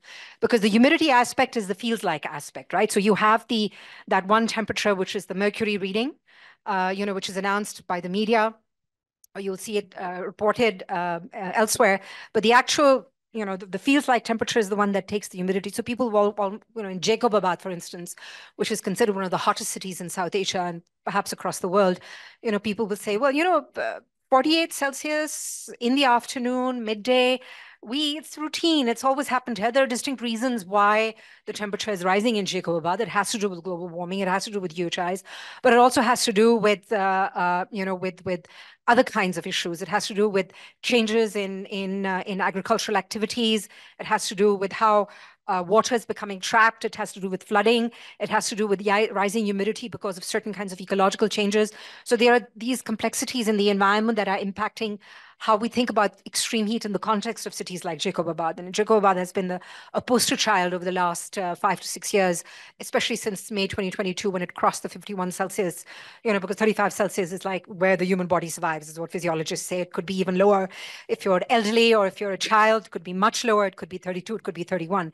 So this is still kind of a, a field of, of, uh, of, tremendous experiment, of, um, you know, of, of uh, kind of a laboratory. But at the same time, there is also a sense of urgency agency in terms of producing knowledge and data about this. So I've been spending a lot of time with medical scientists, physiologists, doctors who work in emergency hospitals, actually the Khan University in Karachi, and I've learned a great deal with them from them. And one of the things that I've learned is that heat is very, very hard. Heat deaths are very hard to detect. And so if a person is brought into the medical room because he or she died instantly from a heat wave, that's one thing. But then there's chronic heat. So chronic heat is very different from heat wave is a one-time event. Chronic heat is sustained temperatures, sustained rising temperatures. So in Karachi, where I've done extensive amounts of work taking data from uh, you know, from um, from specific locations. Uh, the same thing has been done for Nairobi also. I haven't been involved in that research, others have. So when we when you take that specific kind of data into consideration from different different um, uh, nodal points, you learn that, well, you know, in Karachi, 60, 60 years, the temperature has actually risen, daytime temperatures have risen by 1.5 Celsius, nighttime by 2.5 or 2.6. And so it means that nighttime warming is actually going up, and this has to do with UHIs. Now, if sustained heat, which is longer summers, sustained heat has become, uh, you know, a reality. So the heat wave has to happen maybe once or twice a year, maybe over a period of a month and a half, two months. But sustained heat or chronic heat is lasting longer and longer. So what does that mean when you when you separate heat waves from chronic heat? So you're looking at the effects of chronic heat on the human body. So it's a slow death. And this also has to do in, in medical terms of what is known as the harvesting effect. And again, very difficult, very difficult to show. And there's a wonderful book called um, uh, oh by this uh, historian. It was actually on the Paris heat wave. I don't mean to compare, but the Paris heat wave in 2003 killed around 15,000 people. And uh, there's a very interesting planning history and architectural history involved in that whole story as to why there were such high deaths, not only in elderly, but also homeless people. And I mean, the whole data on that is absolutely fascinating. And Fatal Isolation, that's what the book is called. And that's where I learned a lot on, on medical terminologies. And the harvesting effect is that you could be exposed to very, the human body could be exposed to very high temperatures in a given moment in time, but the effects of that might lag six months or six years or even 10 years. So kidney disease, a certain kind of a kidney disease has emerged and that there's somebody out there who's actually um, been funded by the Wellcome Trust, I think on a very fascinating project on the impact um, of extreme heat on health, looking at a specific kind of a kidney disease that has emerged as a result of extreme heat in Africa. I can't remember the specific specifics of that research. So, so there is a kind of a new language, new forms of knowledge that are being produced, but its relationship with the built environment which is also part of nature, is a very important one to understand. And where planners, urban planners and architects and engineers, you know, what role uh, are they playing in terms of the production of this kind of heat, right? And, and that there are colonial roots to this, um, you know, and, and there are presently developmental world city aspirations. All of this is feeding into real estate development, speculation, whilst we're simul simultaneously talking about the iniquities of uh, the impacts of extreme heat on health and informal settlements and slums and low-income settlements. We're also seeing in cities cities like Karachi and also Nairobi, where my colleague Bozzy sitting over there from KDI and I, you know, we're working on this extensive project funded by the British Academy, you know, infrastructure, infrastructure planning, more asphalt, more concrete being poured into the environment, uh, whereby heat, human health concerns are actually kind of being sort of dropping by the wayside. And these conversations are not part of of the broader imaginary in terms how we need to reboot our thinking, where engineers and, and health workers and planners all need to sit at the table and have these conversations together, right? That what does it mean to retrofit cities, right? That's a very, very popular term these days. What does it mean to retrofit cities? Is it sort of making an apartment block and, and you know, 60% of it has green, a green forest on the, you know, on the, on the balconies and, and the roof? No, it's, that's not enough, you know, because that's also greening gentrification. And there's tons of literature on the issues of greening gentrification. And that also dovetails with issues of how we handle heat uh, in terms of its effects on the built environment and how the built environment itself is being weaponized in the context of global warming and UHIs and so forth. So, so I think that starting off with really simple terminology and then thinking about these kinds of investigations, and I think that sort of we're at a very critical juncture now where we need more research, more data, and uh, so it could start with really simple conversations and then take one us forward, you know, in terms of having deeper conversations with medical scientists, urban planners having deeper conversations with medical scientists. Not happening yet, actually. So I'll just leave it right there. Uh, okay, I'll just add to Nosheen's uh, submission around uh, what should be the starting point when we're talking about operationalizing endurance, for example. And uh, for me, in addition to what she talks about essentially as a radical change in the way we approach academically, uh, we approach these particular issue like endurance. Uh, one of the things that we've been pushing in terms of boundaries or radicalizing is the engagement with local knowledge, indigenous knowledge. This is really important because over time we've tended to kind of like throw it under the rug or keep it on the margins, thinking that it is not scientific. What is scientific anyway?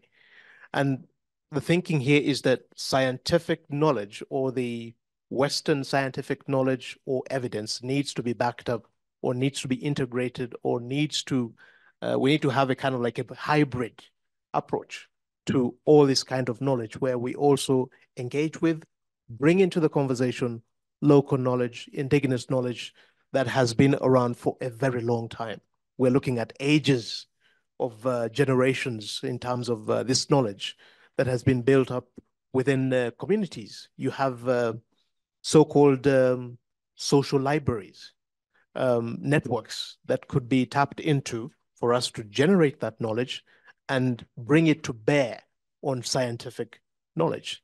And I think that is one of the critical aspects when it comes to operationalizing something such as endurance. How do we bring into the conversation local knowledge before we start even thinking about radically transforming the methodological, the conceptual, and the theoretical approaches in the way we deal with this particular issue. Yeah, thank you. Yeah, I think that's a really interesting point um, in terms of um, how do we bring in local knowledges and local forms of solution, especially in urban environments that are changing so much and so dramatically. Um, thinking of solutions to kind of like heat and cooling and what have been techniques used both within cities but also in rural areas as well. And I think what I would always urge in these situations and when we're talking about what we do when we bring things to the table is we should bring them to the table in a meaningful way. Because a lot of the times when it comes down to urban planning or transformation or implementation, we know that the tasks of governance, of policy, of implementing these plans is also, it's a big bureaucratic affair. It's not a small game, right, to be engaged in these projects. But how do we then engage in these conversations? We can have the conversations. Us sitting in this room will have a meaningful conversation. We will be saying that these are the people that we need to talk to. These are the methods that we need to engage and employ in. And what often happens in both academia, in policy circles, in governance, is you get time to time key methodological frameworks become really trendy. So, you know, the decolonial framework has been the latest one that has been quite aptly criticized in many ways because oftentimes it's taken and adopted by various organizations within the academy, within the left, within social spaces, where it's kind of like, okay, we're going to do this. And I'm like, okay, well, what does decolonial mean? Right? Because decolonial in the tradition of literature, in the tradition of anti-colonial, anti-racist, radically equalizing politics is very different from kind of like having a conversation uh, in in a very safe space right? It's about having conversations that are actually genuinely bringing in people into the conversations. Now how we go about doing that is not an easy task. There's not kind of you know um you know it's not but it's certainly not something that can only be confined to the office and it's certainly not something that can only be confined to the academy and it has to be engaged with communities in and outside of these official professional spaces too, right? These are conversations that have to be happening in this way. And and I think that's what's something that I will always emphasize for us to be engaging with in our work in the spaces, the conversations. I know that when I sit here with the two of you, the three of you, we will probably be in agreement of, of all of these things. And the question is, how do we make it actually meaningful in what it does? And, you know, sometimes people have referred to my work as decolonial and I get really angry. I'm like, no, it's not decolonial. I just, because it's kind of become, you know, I'll give a very simple example and I'll go off script, but you know, a very simple example is there was a, you know, I was in a health clinic and they said, let's decolonize birthing. And this was in Europe. Um, you know, and I'm like, what does decolonized birthing mean? Um, does it mean lack of medical intervention? Does it mean, what does it mean? And I was asking the people who put the pamphlet together, and they're like, no, well, there's higher mortality rates of Black women in Europe by eight times, for example, in the, I'm like, well, can't we just call it anti-racist birthing policies, you know? So, you know, I want us to think about the terms that we're using. And, and I think that becomes really important for practitioners, for policymakers, for scholars, for people who are working on the field and people who are from the communities who are engaged in these processes of change. Um, and I think I just wanted to mention on Nosheen's point of like, what does the city look like when we're imagining how we challenge and uh, challenge the, you know, how we challenge the challenges, how we challenge the challenges of heat and of rising temperatures, and having those conversations of urban planners with the physiologists of looking at what the impacts are because much of what you are speaking to and it's a reflection of course today you're speaking about extreme heat but much of your work is also looking at broader environmental effects on people and ordinary lives, particularly those from low income, marginalized backgrounds. And much of urban planning is riddled with these inequalities, right, that have longer term effects of chronic illnesses. Nairobi as a city which has incredibly high asthma levels across the population. If just on this third Parklands Avenue, as you were talking, I was just thinking of all of the apartment buildings that are kind of like going up and transforming this landscape that are leading to various forms of pollutants. And if we compare it with Karen, a very nice leafy neighborhood in the city, you know, why, why are these inequalities within the city? What are the longer term historical structural factors behind it? How we can we have conversations that are really talking about meaningful distribution for the communities that are part of the city? And how can we enact those changes whilst recognizing recognizing why those inequalities are there. And those are conversations not always that people want to have, right? Because sometimes we don't have the power ourselves as individuals and as organizations to change it. But we should still address a truth, right? And that's kind of perhaps one of the things that I think is important. allow me one last question and then the floor will be yours. Um, related to this and related to your previous talks, you all three um, spoke about invisibility of heat, invisibility of certain populations, inaudibility, unheard voices. And this is an issue we all know in the field of, uh, of our studies and our work that we mostly study, work with, work for populations that are largely still invisible or unheard and inaudible. Um, so thinking about that, you've written, Professor Anwar, in your work around distributional concerns um, within cities and in extreme heat situations. You invite urban planners to get involved and, and other scientific fields. You mentioned very concrete concerns around uh, you know, stories you tell in one of your articles in November 2022 for the Institute of Development Studies, where you speak about the death of one elderly woman, and again, how deaths are recorded. Her death was recorded as the result of a roof falling over her head. But actually, that's not the root cause of what caused her death. What caused her death was the processes of um, um, of resettlement uh, and, and urban planning that was being misplanned and led to subsequent, subsequently disaster risk mitigation. Thank you. So how we look at root causes, how we look at how deaths are recorded, you came back to that very often. Can you please comment for us, you know, what those, how we can address those distributional concerns and what you know, what other invisible risks perhaps you want to mention that we haven't mentioned today that you think we need to be aware of and plan for to make it more visible for us? Uh, and Peter and Sana, uh, similarly commenting on that, you also talked about um, mental health as an invisible consequence of all of this. Uh, and all of you spoke about also, um, you gave Peter an example of, of a woman and there obviously a, a gendered perspective on all of this that we need to have the disproportional impact of all of this and all of these injustices on women specifically, um, from women in Kibera to women in Karachi, from Afghan refugee women to uh, internally displaced women, their dignity, their health, their survival is constantly tested. So I'll leave with one open question around what could a feminist agenda uh, on this nexus of climate, mobility, um, and cities look like? we have an ongoing research on this. So this is also for my own shaping of this research project. If we can bring gender into the discussion, how would you promote it? Thank you. We can start.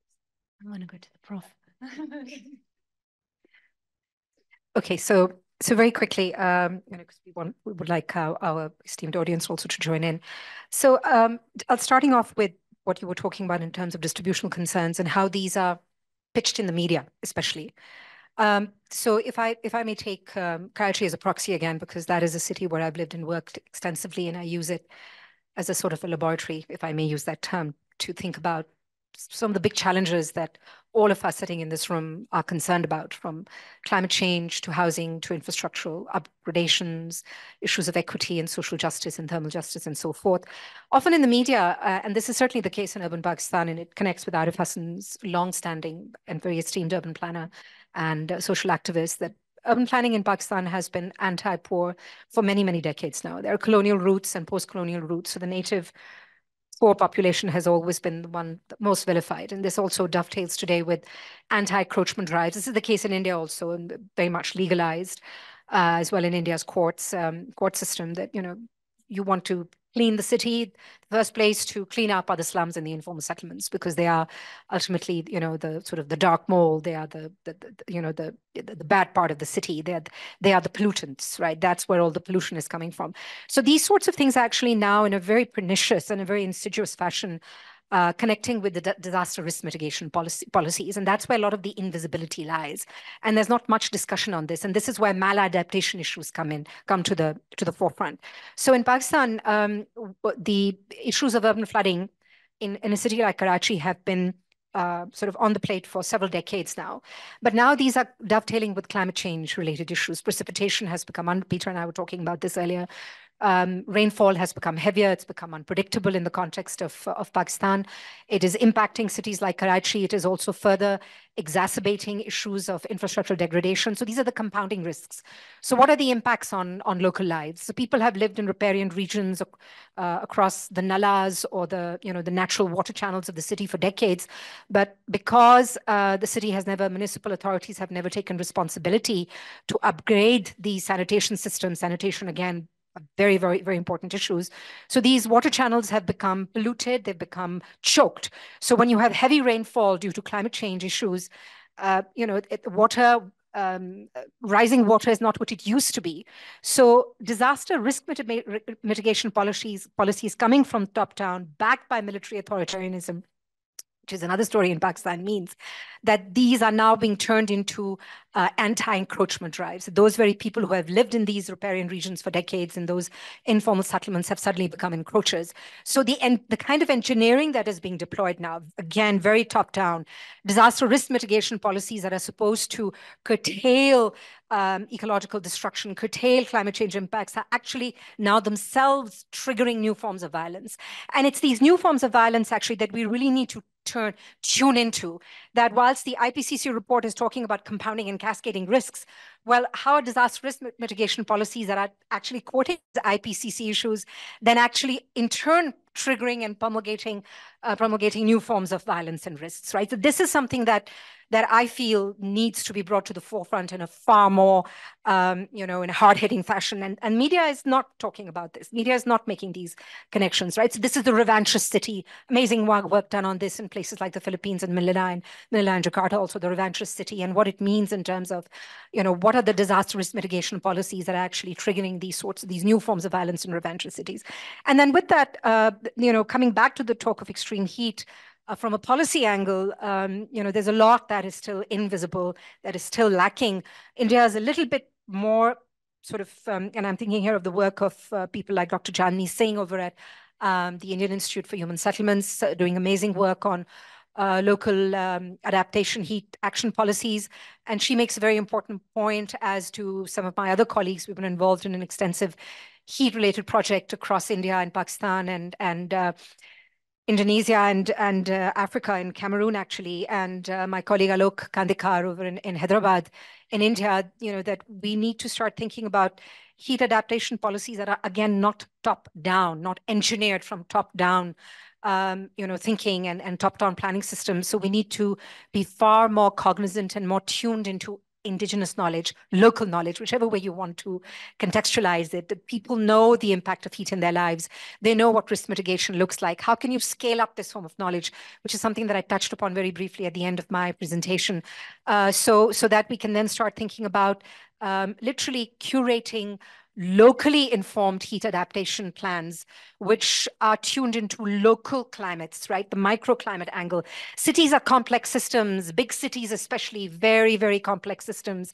You know, you could travel from one part of Karachi to another or one part of, of Nairobi to another, and you would be experiencing different climates at the height of a heat wave or under chronic heat dimensions and different built environment and scales and vegetation. So if you have a one-fit-all heat adaptation strategy, it's not going to work. And the other problem with that, of course, is that if you think that that putting in a, an emergency, uh, you know, meteorological, uh, there's a meteorological event coming and you need, you know, there's an emergency information system in place through the media and people should stay indoors. There's a problem with that because the indoor environment can actually heat up in, in far more serious ways than what's happening outside. And this has an impact in, in gendered ways, right? When women working in small environments, you know, 20 square yard homes where you know, where the, the kitchen is literally your bedroom and, and it never stops cooling. It, it doesn't cool, it never ever cools. It doesn't cool at night, it doesn't cool during the day. And there's a heat wave. So the, the heat element, right, that the whole production of heat is becoming far and far more insidious and deeper. So it's, it's a call to action. It's a call to rethinking methodologically, conceptually, in policy terms and action terms. And it's a big call. It's a big call because it also means that we have to be interdisciplinary, multidisciplinary in terms of how we situate ourselves about the these distributional injustices and these distributional concerns. Okay, sorry. Um, okay, uh, I think I'll just take another perspective. Uh, Nosheen, you've uh, spoken extensively around the issue of policy and practice. I'll take the angle of uh, pedagogy. the current policymakers and practitioners are coming from specific schools, schools of thought. They're trained in a certain way. So our thinking is that the way we train and teach development practitioners needs to change. We need to transform it radically from what we have actually been doing. And uh, one of the things that we've been doing at a research unit at Makerere in geography department called the Urban Action Lab is engaging what we call community professors. So rather than students going out into the field to experience certain realities, for example, around poverty, inequality, and all these other issues we're dealing with, we get community members to actually come into the lecture rooms, the lecture halls, to give first-hand accounts, experiences of how they live their lives and their realities. And through that exchange, because it's not just about us going out into the communities, but also providing that space for them to come into the universities, into the training spaces to engage with these future practitioners, we think that is very impactful in changing these future policymakers, practitioners, when it comes to the issues that uh, Nosheen has been talking about.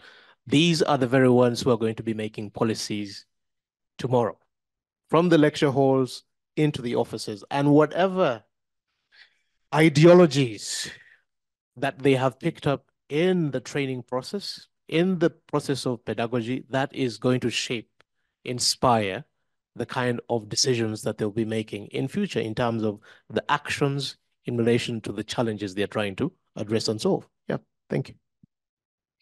Thank you. No, I think that's a really interesting kind of way because also it's bringing the stories. People are forming their own stories. They're telling the stories rather than it being constructed from the classroom. Um, I think I'd perhaps just discuss what does a feminist agenda look like for urban planning. That's kind of like a big ask, I think, you know. It's a big ask. What does a feminist agenda look like? And I think that the only way that we can have a politics of liberation, whether it's from a feminist perspective, from a class perspective, from racial inequalities in cities that we know exist. For example, Nairobi, of course, we know the legacies of settler colonialism and racialized hierarchies. We understand this. The only way I think that I would be interested in having these conversations is if we approach it from this intersectional kind of like approach and perspective, where the feminist agenda is about understanding what does a better life look like for a woman uh, who has maybe shaped and layered by class or an ethnicity or race or religion, depending on the context, whether it be Karachi, Peshawar, Nairobi, or Mombasa, but also to be able to give space to men who may be also subject to, to, to class inequalities, right? Because what I always think is important in the works that we're doing is to understand inequalities and how different um, bodies, different peoples, different individuals will be shaped and affected in different ways as a consequence of these different positions of power that they may wield within society. And also, you know, as a feminist, um, as an anti-colonial, anti-racist feminist, I hope, I also understand, we also understand the importance of understanding how patriarchy, of course, also has significant implications for forms of masculinity that are considered acceptable or not, that it's not just a binary issue, that there are all of those people and genders and in between who we also need to account for as well in terms of what does equality look like for them in the context of urban planning. But we also understand that there are certain men within our communities and populations and groups who will also not necessarily have the same um, you know, rights and privileges of a woman who may be of a higher class standing. So for me, the agenda of kind of like, and this is not to sideline or diminish issues that pertain to and affect women and affect girls, but it's about having a broader conversation where we are all a part of that conversation. Because for me, a remaking of our worlds has to include the men side by side with it too, right? So what does that look like is perhaps the angle and perspective that I want to consider. And I think for the communities that we all work in, um, these are communities that are living and engaging with each other side by side with each other. So what does that look like and how can we keep that on the agenda? And perhaps because we're coming from this context of Afghanistan and Pakistan, where gender is sometimes over debated in the sense that gender becomes the thing to debate. As a brilliant scholar and colleague and friend, Perniz Musawi Natanzi says, she calls it gender bazi, the gender game right? That is often played in policy making and institutions, particularly when it comes to Afghanistan, or Anila Daulatzai calls about the tropes of the Muslim woman or the tropes of the Afghan woman or the Pashtun woman who needs to be saved and liberated. Sometimes just the focus on gender uh, can also be stifling to the solutions that need to be had. In Afghanistan, we of course need to be talking right now, and you'll probably know much better, of education, but we also, and lack of rights for women being able to access education, but we also need to consider the structures of violence and economic sanctions that are leading to poverty that mean that many women and men are not being able to access food and healthcare and rights and all of these things. So sometimes we need to be able to move away from gender bazi too and be cognizant and conscious of this. Thank you. And you're welcome to agree, disagree in a respectful tone. I would have loved to answer that, but I'm not going to have time. Uh, so please, Jared, over to you and over to all of you for questions. I'll go around and pass the mic. Thank you so much, Nassim. Can we please uh, give a very big round of applause to this amazing team? Thank you. Uh, I think you'll all agree with me that they have really done justice to the conversation of the day, don't you? Right from the top level of it, what I picked from the entire, you know, conversation as began was just sort of helping us to understand the interconnectedness, you know, on uh, this conversation we speak about, you know, climate change, biodiversity, you know, ecosystems and the, the larger impact that it has on human systems. I, I, bet most of us, or perhaps some of us, did not maybe know the multi-layered aspects of perhaps heat, you know, a conversation could be. And that I think would uh, speak much to maybe the work that you do from a day-to-day -day basis. I, I also perhaps, you know, I mean, admired the other introduction of the aspect or the concept of urban informality. And with that, getting a range of experiences from Western Uganda to the other part of Asia, and of course, very particular you know, examples and all this. And that, again, this conversation that just ended right now in terms of the plenary exchanges, the introduction of the pedagogical aspect of how policymakers and pract practitioners would really contribute to the, uh, you know, next steps on, you know, taking action to some of these issues. And then I know that uh, there is also the angle of, uh, you know, um, you know, feminism. I know sometimes uh, feminism as a word is said, some, some of us cringe and they think it's going to be only a women affair. And I think what is we're being really exposed to is that, you know, and there are instances that even men make some of the best, you know, feminists, as Nassim sometimes would put it. So the conversation should be all, you know, inclusive to include both men and women. So that also we are very cautious of some of these, you know, terminological components, especially that are actually informed by different, you know, communities. And with that, I just sort of to reiterate, you know, one of the things we are trying to achieve, you know, with this, you know, lecture is to create a really open space where people can learn and discuss issues with each other in a respect, you know, respect for environment. To make this uh, possible, I want to sort of just share with you some key pointers in terms of uh, principles of engagement during the Q&A. When you have the mic, please introduce yourself and ask a short, smart question. We really want to hear from everyone and get through the session. So if we cut you off, we are not being rude step up, you know, step back. If you end up asking a lot of questions, consider letting others speak. And if you haven't spoken, just know that we would want to hear from you. And it would also provide another chance to still get questions and have this conversation beyond the space. So over to you. I should be having some mics on the end, far flanks of the room. Uh, somebody can get from the side? Yes, thank you. Where do we start? Over there, yes. Uh, thank you.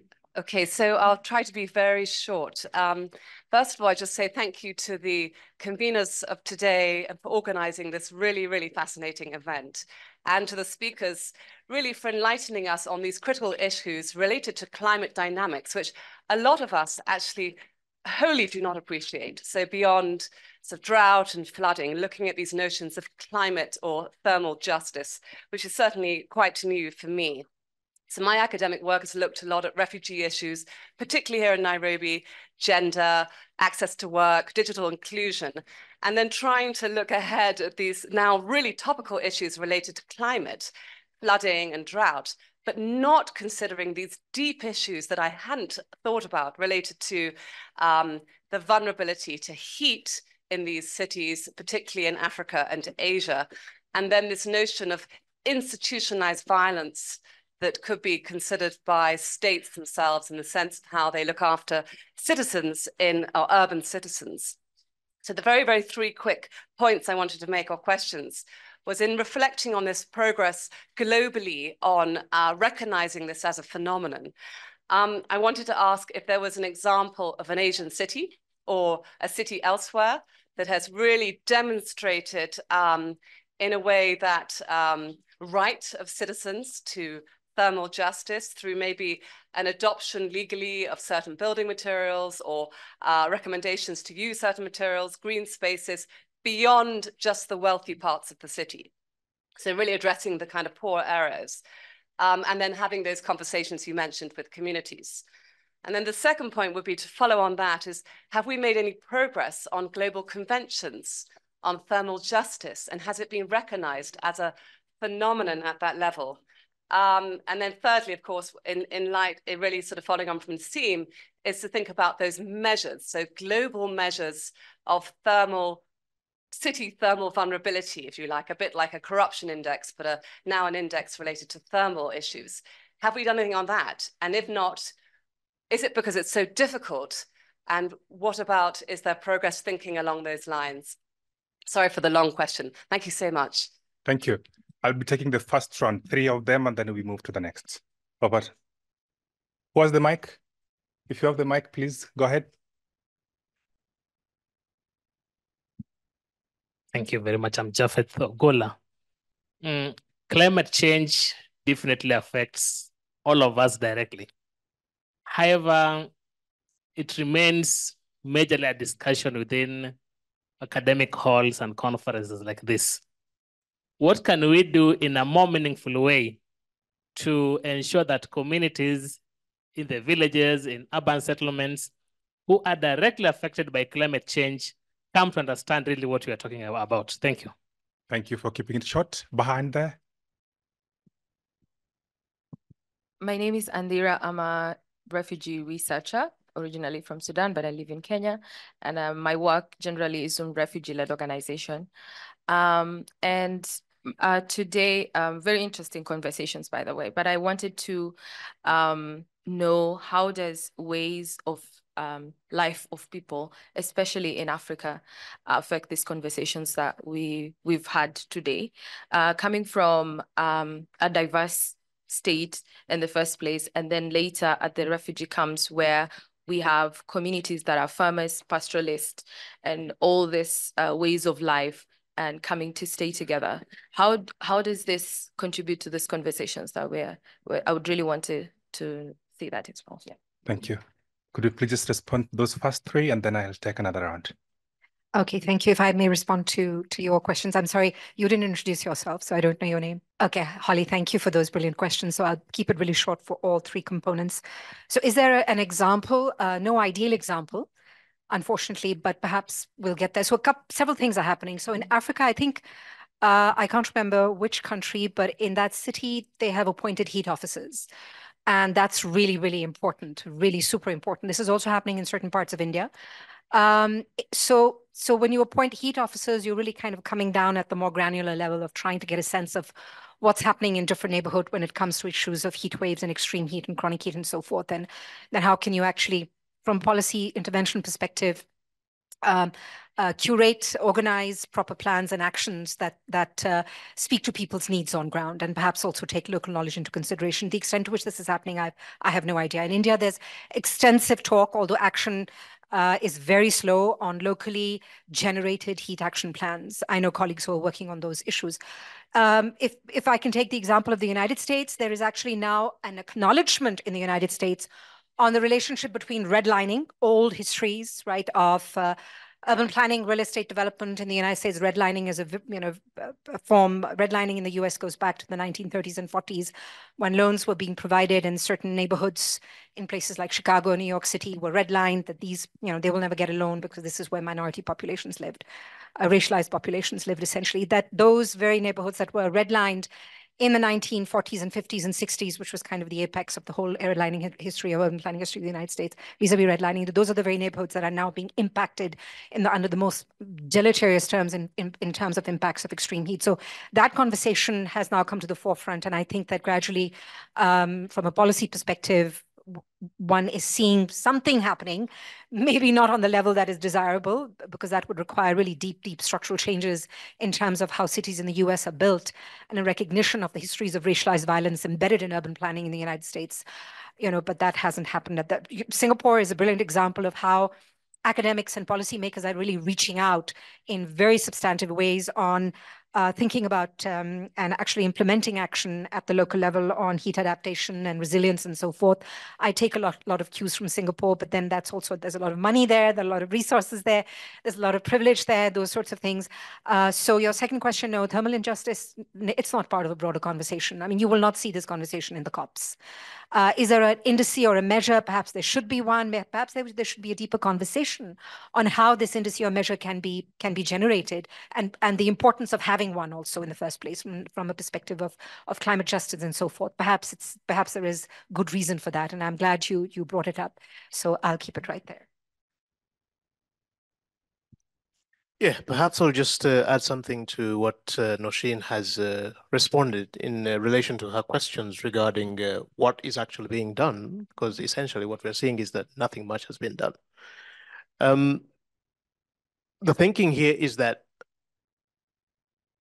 we need to think more about, when it comes to policy, we need to think more about the thresholds, the tipping points. We are talking about tipping points, for example, in relation to flooding and all these other events, but when we come to the conversation around thermal justice or thermal injustice, I think it's important that globally we start thinking in that direction. What are the thresholds? How do we redefine these thresholds? What are the tipping points? And I think that is very important in that conversation.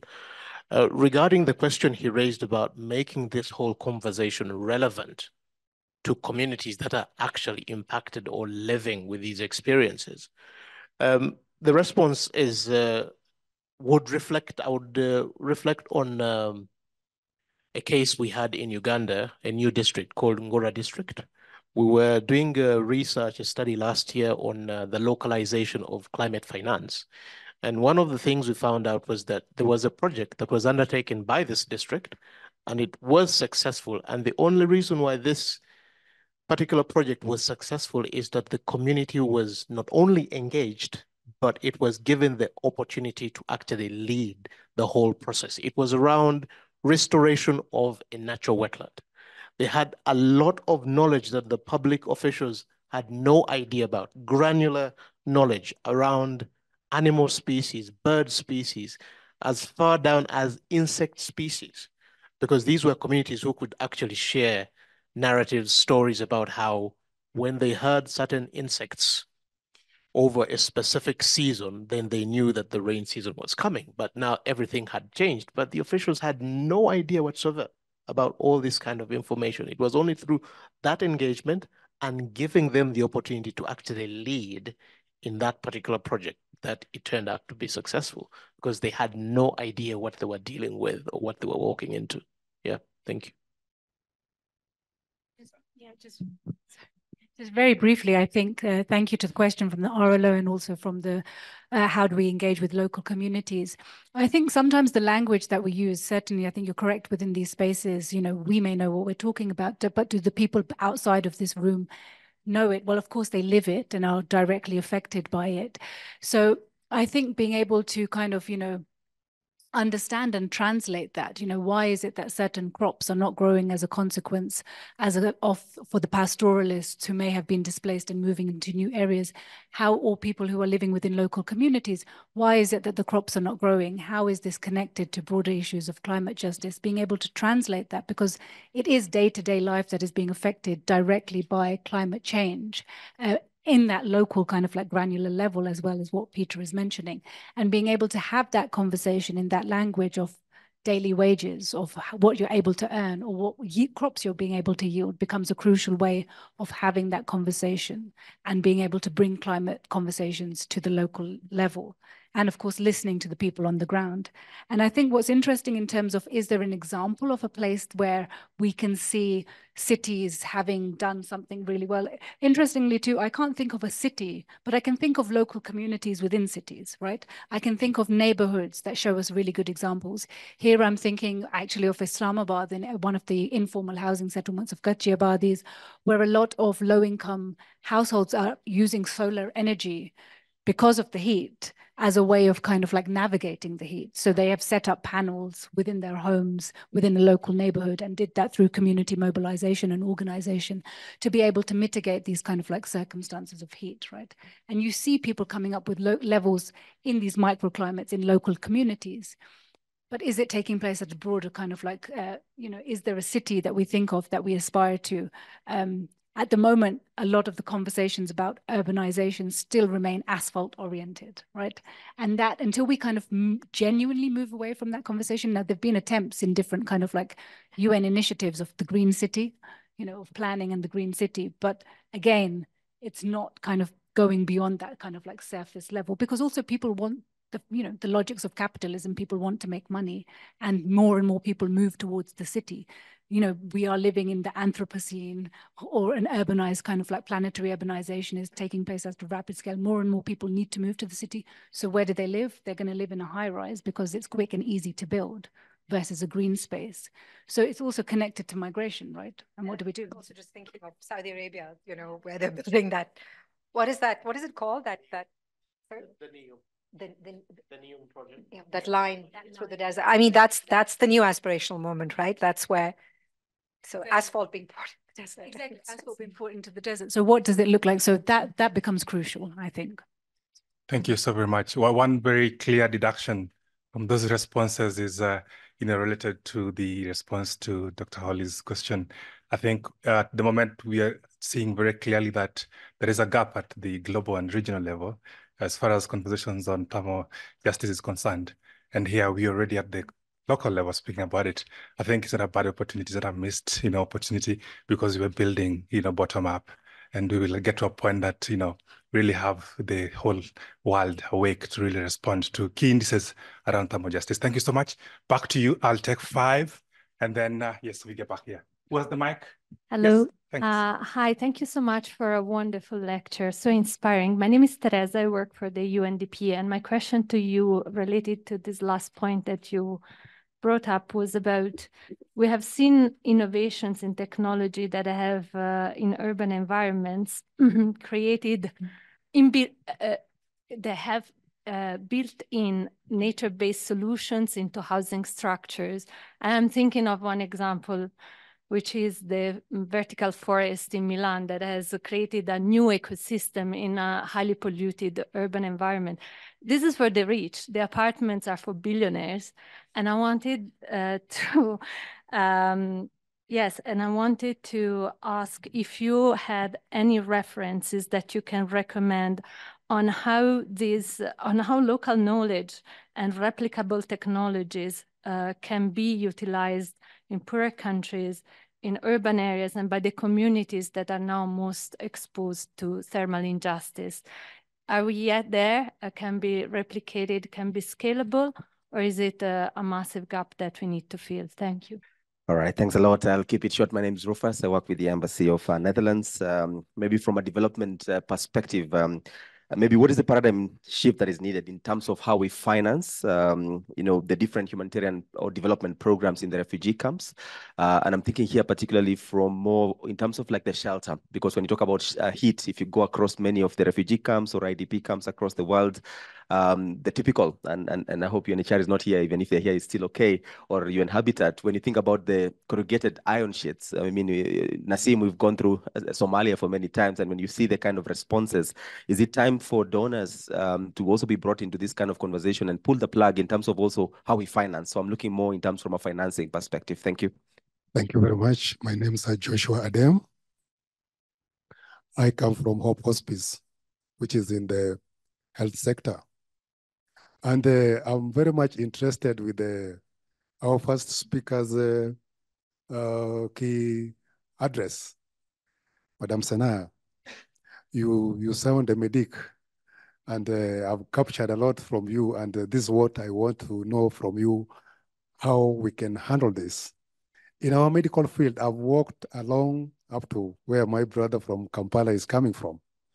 Uh, the heat, the heat problem is now becoming an uh, epidemic, not only in the refugee camps or in the informal sectors, but it is becoming a communal kind of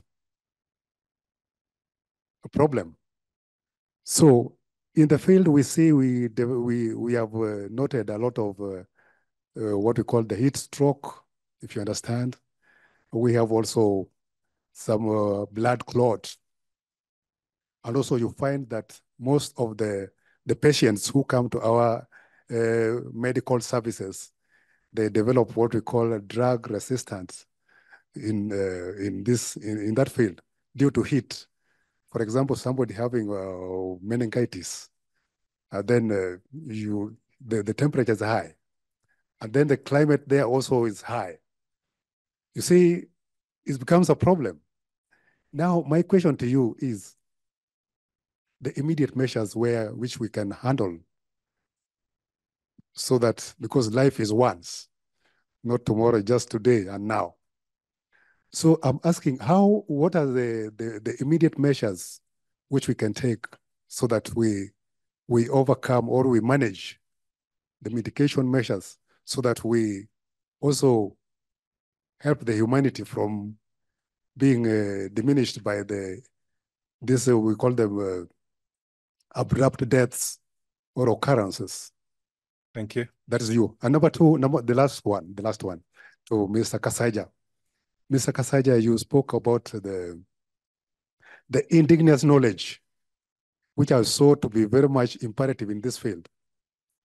So where can we start from? Because according to what you have managed in Gulu, I think it is Gulu or Arua, what can we also get from that practice there so that we make it something global from the indigenous knowledge so that we, we handle this climate and heat issue. Thank you. Uh, thank you. My name is Judy, and I'm moving this conversation in northern part of Kenya where I work. And I'm trying to understand heat vulnerability. Um, where does culture, where do we place culture? Where do we place system of uh, living? And uh, about indi merging indigenous knowledge with academic knowledge and uh, where do we consider the way of living related to culture? And one example is uh, from the com community I work the, the way they build their indigenous houses and the way they the, the way they live.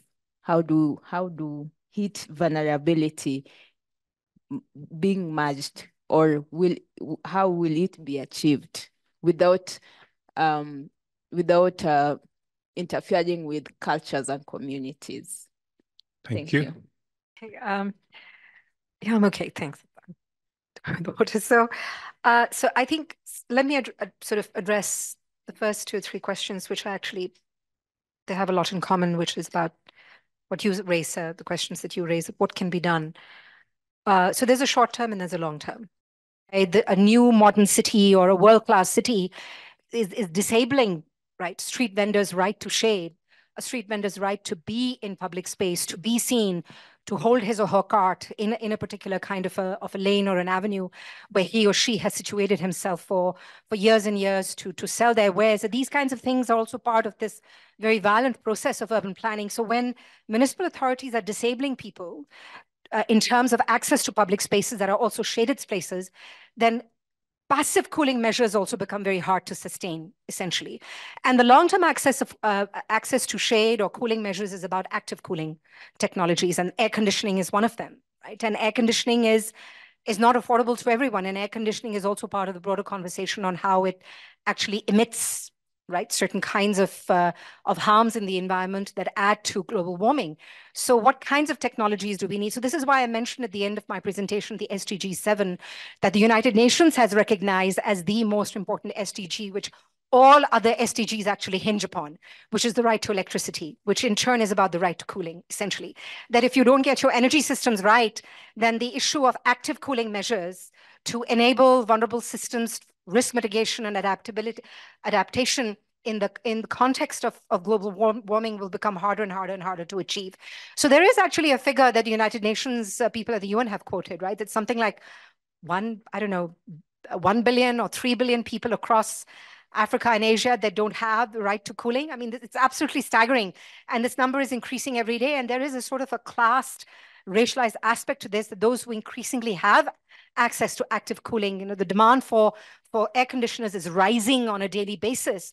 And those who are demanding it and getting access to it are actually wealthy populations, the elite populations, middle to upper middle class populations. So there is this increase so the, the increased divide, the divided city, which we have talked about, the dual city that we have talked about, the narrative of the dual colonial city, the divided city, is actually right now also pivoting on this whole issue of who has the right to cooling and who doesn't have the right to cooling. So passive forms of cooling in the short term, but also very much contingent upon how municipal authorities would allow it or not allow it. And then also these active cooling measures, which are more long-term, which are driven by technologies, complex technologies, air conditioning systems, and so forth you know, and uh, so so it's complicated. It's really complicated, and ultimately, it really does have a lot to do with politics. Um, thank you for such a broad array of kind of questions. Um, I think one of the questions, and I think we'll just given the, the time, we'll speak to, to all of the questions um, or, or, weave in and out of them. In terms of the paradigm shift, something was mentioned there um, in terms of what, you know, what does shelter look like and these corrugated iron sheets coming out again.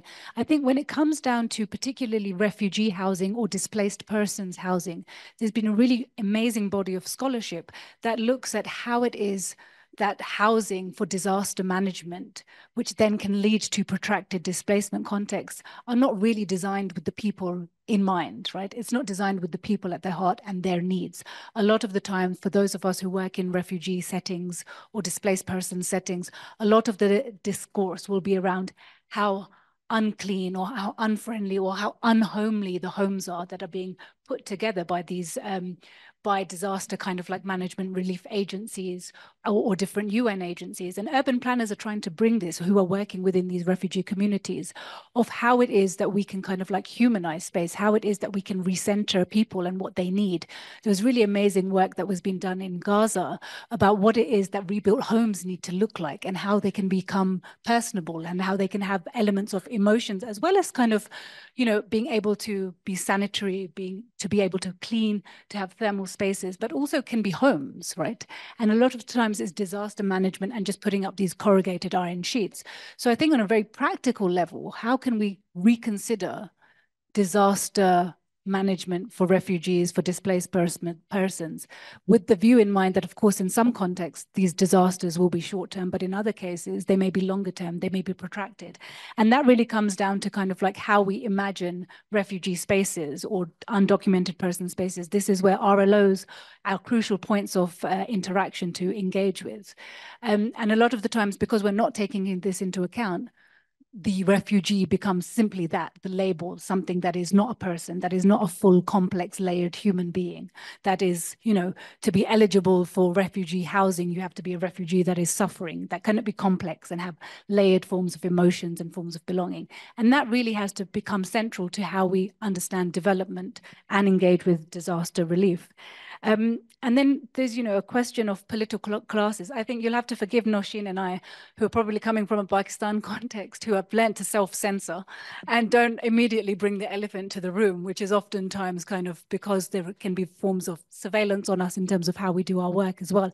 And I think uh, ultimately, you know, the political classes, as well as the mechanisms of how the states function in the post-colonial context, are crucial and they are the elephant in the room with these broader historical kind of structures that do shape why there are roadblocks, why there is change that happens, why it's the street vendor that is targeted versus the high rise of an elite class.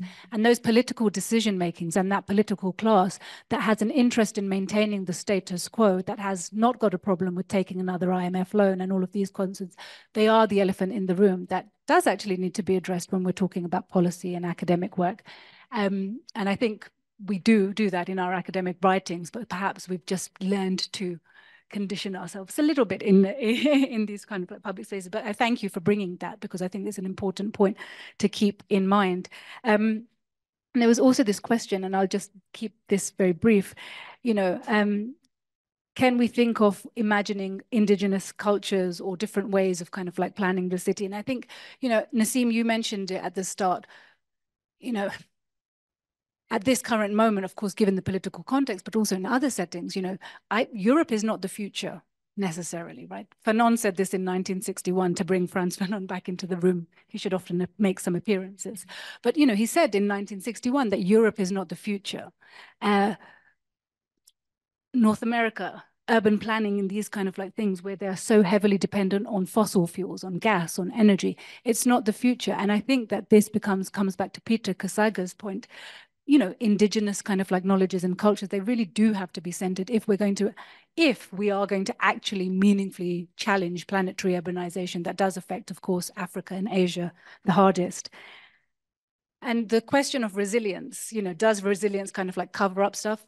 I mean, resilience and endurance are terms that we use, but buildings should be resilient. People don't necessarily need to be, right? We want buildings and infrastructure to be resilient, to weather the storm, to be able to be part of communities. But communities and people and us and the people who are working, they shouldn't have to be resilient and to endure violence in structural forms, in physical forms, in corporal terms, time and time again. This narrative, I think, is also worth pushing back against, right? Of this resilience, because then it means, yeah, sure, Africa can deal with it. They're used to it. Well, no, there are structural conditions that mean people are accustomed to living in violence rather than encountering it, but it doesn't justify or mean that somebody's life is worthy, more worthy than the others. And I think pushing back against these tropes, in, in effect, some ways they become tropes of re resilience, need to be kind of pushed back against. So Peter, you will have the final word. uh, thank you very much. Uh, um, starting with her question, uh, what you ended on the note regarding uh, indigenous knowledge, local knowledge. In addition to her response, I think uh, there are four important issues that we also need to engage with in relation to bringing local knowledge or indigenous knowledge into the conversation. I think the starting point should be the recognition of the importance and the value of local knowledge, indigenous knowledge, uh, respecting the local knowledge, indigenous knowledge? Do we actually genuinely have respect for this knowledge? Because that is also an important issue in relation to our own experiences. You'll find academics talking about local knowledge, but when they don't really have genuine respect for it. It's simply a byword or a buzzword that they'll use in these conversations, discussions, but it goes out of the window tomorrow when they are pushing policy or influencing policy. But being genuine means it's not just about the conversation you're engaged in, but in your actions, you're actually pushing local knowledge into processes, mainstream processes around policy and action ultimately. And then third, the issue of legitimacy, I think is important. And I think it ties into the issue of uh, respect and recognition. How do we build legitimacy when it comes to local knowledge, indigenous knowledge, without having negative impacts or deleterious impacts on the established culture systems. And I think that is also another important element that has to come into that conversation because we're still living in a space whereby there is still there is very little legitimacy accorded to local knowledge or indigenous knowledge in certain contexts. And that is something that we definitely need to address and engage with. Uh, related to his question around the issue of living with heat or thermal injustice, heat stress, thermal stress. I've always used, uh, for example, our health sector as one of the exemplars of pushing messages that could actually be impacted, impactful. And here we're talking about some of these messages, for example, around heat stress, thermal stress, into mainstream health promotional messages, health awareness campaigns. I mean, we've dealt with COVID in Africa. We've dealt with HIV. We've dealt with Ebola, for example, in Uganda. And the way that the key actors have been able to address the issues or the different impacts or the challenges brought forth by these particular epidemics we think that they could actually integrate the message of existential challenges like heat stress or thermal injustice into those campaigns. And that could possibly, I think, uh, make a significant impact when it comes to dealing with the issue of heat stress or thermal stress, thermal injustice. So it's about leveraging those existing strategies, um, opportunities, possibilities that have already been created to address major challenges, epidemics, with or infusing them or integrating them with messages around heat stress or thermal injustice. And I think this could be a very important entry point in trying to address the issue of heat stress. Uh, going to resilience, I think I kind of like uh, agree with uh, my colleagues that it's about time that we actually started being very forceful, the pushback, rather than simply acting as sinks for all these concepts as they are coming in and we're simply swallowing them and regurgitating the same concepts all over again. We need to question them. And that's the whole process about pushing back. Do they really make sense or do they do more harm than good. I mean, you gave a very good example about the resilience framing and how it has actually done more harm or reinforced certain injustices for that matter. So the starting point for me here is that we have to question, we need to push back on these concepts without taking them wholesale as they've been brought into our spaces. Yeah, thank you. Thank you so very much, uh, Peter. I'll take the final round of three questions, starting with George. Over here that promised I'd start with him. So I'll honor that. My name is George Karanja from African Grassroots Media Alliance. Keep it very short. I would like to understand the future outlook of this work. And especially you could talk about the, the dilemma of being, it being difficult to link death, mental, uh, medical stress to, to heat so because I believe that if this comes very more articulate, then it's easy to address policy and uh, also the messages to communities. Thank you. Thank you. Next to Judge. Yes. Okay, thank you. My name is John Okoye. I'm from Daystar University. My question will be a very simple one, but before that, I have to appreciate the speakers especially because the topics we are discussing this morning, they are not only timely, but they are also topical. Well, my question is this, in all the conversation, I've been trying to get that aspect that has to do with how do we bring in the media to be partners in progress in this journey? Because um, there's this popular saying that says that the fish begins to rot from the head. And how does this apply to the context of this conversation? If you look at the SDG, there are 17, and each one is trying to emphasize on a critical point about development issue as it affects us. But there is one aspect that is not emphasized, the communication component. And this has spawned a very serious conversation in the academia. In fact, it has led to the publication of two volumes last year called SDG 18, Communication for All. And you see, why is that important? It is because the idea of the role of the media in this whole conversation has to be inbuilt within that particular space of communication. So my question is, we're talking about indigenous knowledge, the effect of heat and all those things. Don't we think the media has a role here to play in trying, in trying to amplify the marginalized voices, in trying to shape the thinking about what we are saying? If we think mostly about policymakers, policy making is a process and policy making is bureaucratic. But policymaking can be facilitated depending also on how the media tries to frame an issue as serious or less serious? And that is something that I also want to know from the speakers. What is your take on that? How do we bring the media to become partners in progress in this conversation? You. Thank you. Thank you so much. I know that there is uh, Nairobi County in the room and the, the Ministry of Immigration. Are you somewhere? Yes. It has been mentioned that uh, the voice of the political class is missing. This is your opportunity to, you know. Yeah, thank you. Thank you very much. Uh, good afternoon, all. Uh, so, thank you, uh, speakers. I think uh, as uh, the previous speaker already said, I think this topic is very topical. Yeah. But of importance is apart from bringing the media on board,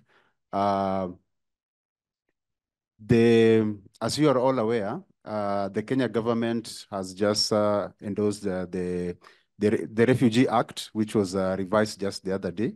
And then we have the comprehensive uh, refugee uh, response framework that has been adopted that mandates the county governments to actually handle issues of day-to-day -day, refugees, migrants, and internally displaced persons. So it's bringing it already down to the local authorities to deal with because they consume services on a day-to-day -day basis. So, and uh, just the other day, our governor, uh, the governor of Nairobi, uh, Johnson Sakaja, uh, appointed a refugee affairs uh, directorate in the Department of uh, Social Services so that to deal with the day-to-day -day issues of refugees in the city of Nairobi. Now, my question will be, um, in this conversation, how do we see the, the role of local authorities, uh, as already put by uh, my, my colleague, uh, my, my friend from Uganda, how, what is the role of local authority as far as this conversation of refugee migrants is concerned? And especially when you bring down to issues of climate, uh, issue of climate change. As you're aware, Nairobi County also adopted uh, climate change. I don't know if you've interacted with it uh, during your research uh, uh, findings, if you have interacted with that document, because there's a climate uh, action plan by Nairobi County. And we, I invite all of us to look at it and see what Nairobi is actually trying to do. So moving away from uh, tokenism to actually actions, because I think there's a lot of talking that is happening all over. And even in the climate uh, climate justice and climate uh, uh, uh, climate conversations. There's just a lot of talking, but where is the action? And I like what uh, um, one of the speakers said about the prodigy in terms of how do we include the locals on a day-to-day -day, Thank you. Uh, addressing those issues. One of the things that we have done as Nairobi County in integration and ensuring that uh, issues of climate justice is not just spoken, is to try and integrate uh, refugees in the climate um, adaptation measures uh, through the Nairobi Rivers Commission, where we are actually including refugees to bring their, their input into how do we address issues of climate justice and climate change in the city of Nairobi. So thank, thank you very much. Let me leave at that. My name is Humphrey Otieno uh, coordinator, Safer Nairobi Initiative, Nairobi City Council. Thanks, Humphrey. One final comment from uh, the person in red.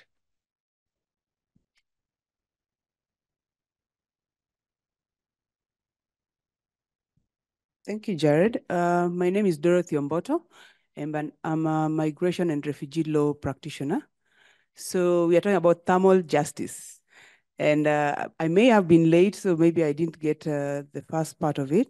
But I just wanted to know, uh, it seems to me that all this is still in a research stage. Maybe you'll clarify that for me, such that, um, are you seeing any way, like practitioners like myself, lawyers and uh, maybe lawmakers, then have a role in ensuring this thermal justice is achieved and how do you envision that? Thank you. Thank you for keeping it short and sharp. Back to the panelists. I think uh, you can each take uh, under a minute to, or maybe under two minutes to respond to all the okay. questions. Um, I'll start uh, in response to the comment raised by the public official from uh, county. Um, I think it's quite a groundbreaking event that uh, the local government has been given powers when it comes to managing the affairs of refugees in the context of Nairobi. And we do believe that they play major roles, local governments, when it comes to collecting the data, when it comes to implementing policy, implementing action, when it comes to monitoring, evaluation, and ensuring that you have mechanisms, systems are in place that are able to help these refugees be integrated or manage the challenges, better manage the challenges they're facing. But ultimately, I think for me, the big issue beyond the role, because the role is straightforward, but beyond that role, the question is, do they have the fiscal financial autonomy when it comes to making critical decisions about these resources that they need to manage or deal with the magnitude of challenges we are facing when we're talking about refugees moving from settlements into cities because they're placing demands on healthcare systems, on education systems, on uh, social service delivery when it comes to waste management, sanitation, water delivery, and all these other important uh, dynamics around uh, urban governance and management. So I think it is a straightforward yes that they are playing a very important role, but ultimately this role can only Eh, eh, this role will only be uh, relevant or important if they are or they actually have the fiscal and financial autonomy from the central government to actually control the resources, make the decisions around how these financial resources are being used or are being uh, uh, managed in terms of addressing challenges related to refugees or displacement when it comes to for example, a context such as uh, Nairobi, given all the complexities surrounding the needs and the demands of refugees or displaced persons when they move into the urban spaces. And I think that kind of like ties into as well the question that you raised about the media. I think just as much as the local governments have a very important role, the media also plays a very important role. Unfortunately, I think it was more implied in the presentation, but you must recall that all through the presentations we've had articles being presented or being flagged. And that is essentially the media. It's playing a very important role in bringing our attention or drawing our attention to the issue of thermal injustice or climate change more broadly. So beyond just acknowledging the role, again, it goes back, do they actually have the freedom to operate? We're talking about a context of shrinking civic space, for example, across uh, so much of the world. It's not just Africa or Asia, but even in Europe itself. In the US, I don't know whether you've seen the latest uh, categorization, where the US, it shows that civic space is not as free as you expect in the land of the free. So for me, again, it goes beyond the role, but also foregrounding the issue of how much freedom, liberties does the media have in terms of uh, bringing to attention these particular issues and trying to find ways of how to address them because they are the ear to the ground beyond uh, the state and all these other actors, the NGOs, and uh, that uh, particular spectrum of actors that we normally talk about in the context of uh, displacement. And uh, going back to the question that uh, the gentleman from uh, the Dutch embassy raised, it was an interesting question. He started out with humanitarianism, humanitarianism, then he dropped it and went to development. And I think he kind of like responded to the question himself that the starting point is to move beyond humanitarianism. We are way beyond that. We are pay, way past that of simply giving out blankets, tents, water. That's the tokenism we're trying to transcend or go beyond. We're trying to look at these actors, displaced people, as human beings with certain needs, certain demands, who are also bringing certain values and additions to the societies that they're moving into. And therefore, they need to be valued and looked at from that perspective, rather than being kept in that limbo of being visible, invisible, or less than the citizen as we describe or characterize the citizen in Kenya or Uganda or whichever country or context you're talking about. Yeah, thank you. Um, so I'll respond to the question on media and on thermal justice very quickly. So if I may take the example of Pakistan, uh, I 100% agree that the media has a role to play and an incredibly important role to play. One of the problems in my country is that uh, um, journalists uh, are and other media representatives don't necessarily also have the training to be able to write and to to respond and to take up information and present it in ways uh, that would make sense to the general public or would have an impact on the general public. And this is largely because um, the training is not there. But so one of the most important ways in this can be done is through investigative journalism. And we don't have that substantive investigative journalism capacity in a country like Pakistan to be able to deliver those, to go beyond the sound bites. So typically what we have in Pakistan is sound bites. Someone reports something somewhere, academic presents somewhere, I will present somewhere, and there'll be a sound bite. And then I look at what's been reported and say, you know, I mean, this is like three lines. I was expecting something much deeper. And so we end up blaming, blaming the media. So the media tries, but so we need more training schools, more, more. Uh, so there is where I work at IBA, there is a Center of Excellence in Journalism that is trying its best to be able to train um, you know, uh, men and women who are interested in the media, in investigative journalism techniques, which is kind of what you have in the United States. That's brilliant, despite the, you know, what you mentioned, the censorship and all of that. And there is a shrinking space in Pakistan as well. But I think that the commitment, the commitment to, to investigative journalism, to deeper, more substantive reporting is a very important aspect of how then the media becomes equally accountable and has, um, you know, a stake in the broader story. This is very important. On the thermal injustice uh, uh, question by, by the lady in red, and I'm sorry I forgot your name. Uh, no, no, there isn't. And and again, this is, I mean, there is there's a little bit of of action on well, how can you provide insurance schemes uh, to women, um, you know, uh, in, in, who are involved in micro enterprise systems, insurance schemes that would help to mitigate um, the impact of heat risk. I mean, the, the story really is only up to that point. So, I mean, if we take flooding uh, as an example in comparison to extreme heat, the impacts of flooding are, are immediately visible. So you could take certain people to court, you could you could litigate, you could hold people. How, who do you litigate when it comes to the impacts of extreme heat? Especially when you talk about the harvesting effect and slow deaths and things like that. Who do you hold accountable? This is this is why extreme heat is such a stealth-like thing um, that when it comes to precisely those sorts of, of issues, it kind of just falls by the wayside. Right? So I'll just stop right there. Thank you.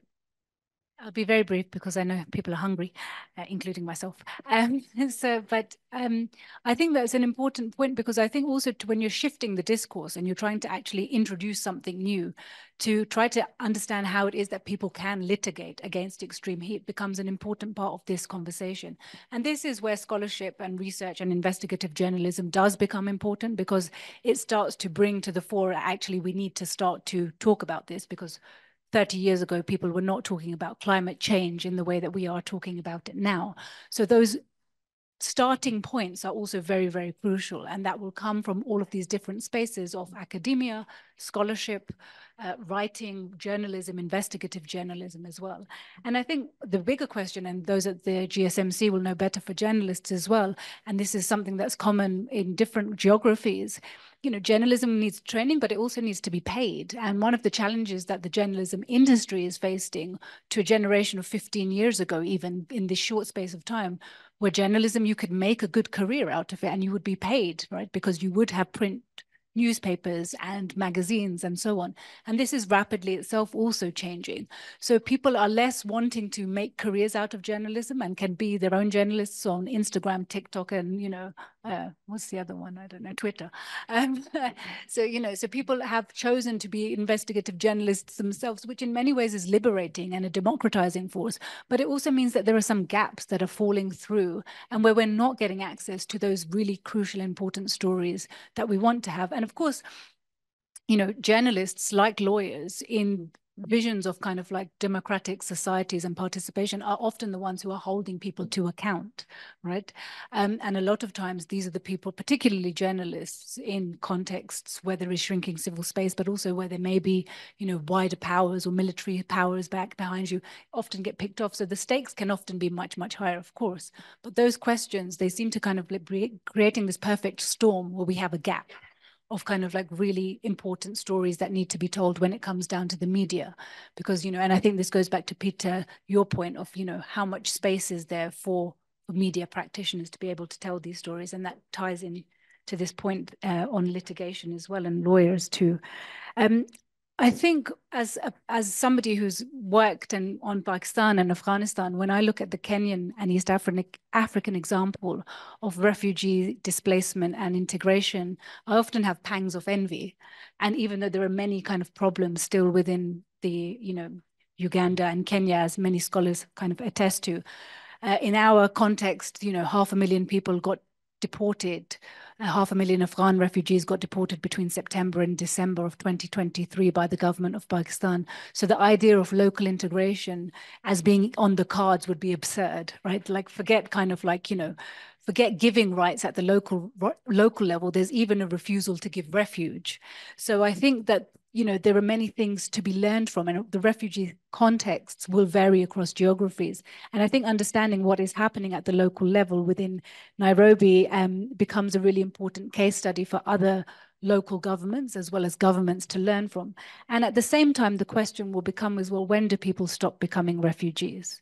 Because that's the challenge to kind of like be aware of because whilst it's important that there's these forms of local integration and a ministry of refugee affairs um, at the local level at some point 10 years 20 years 5 years 3 years who when do you stop becoming a refugee? When is this label taken away from you? And this label that has mechanisms of social exclusion but also of course legal exclusion that has material impacts on your day-to-day -day life in terms of access to education healthcare jobs and the like.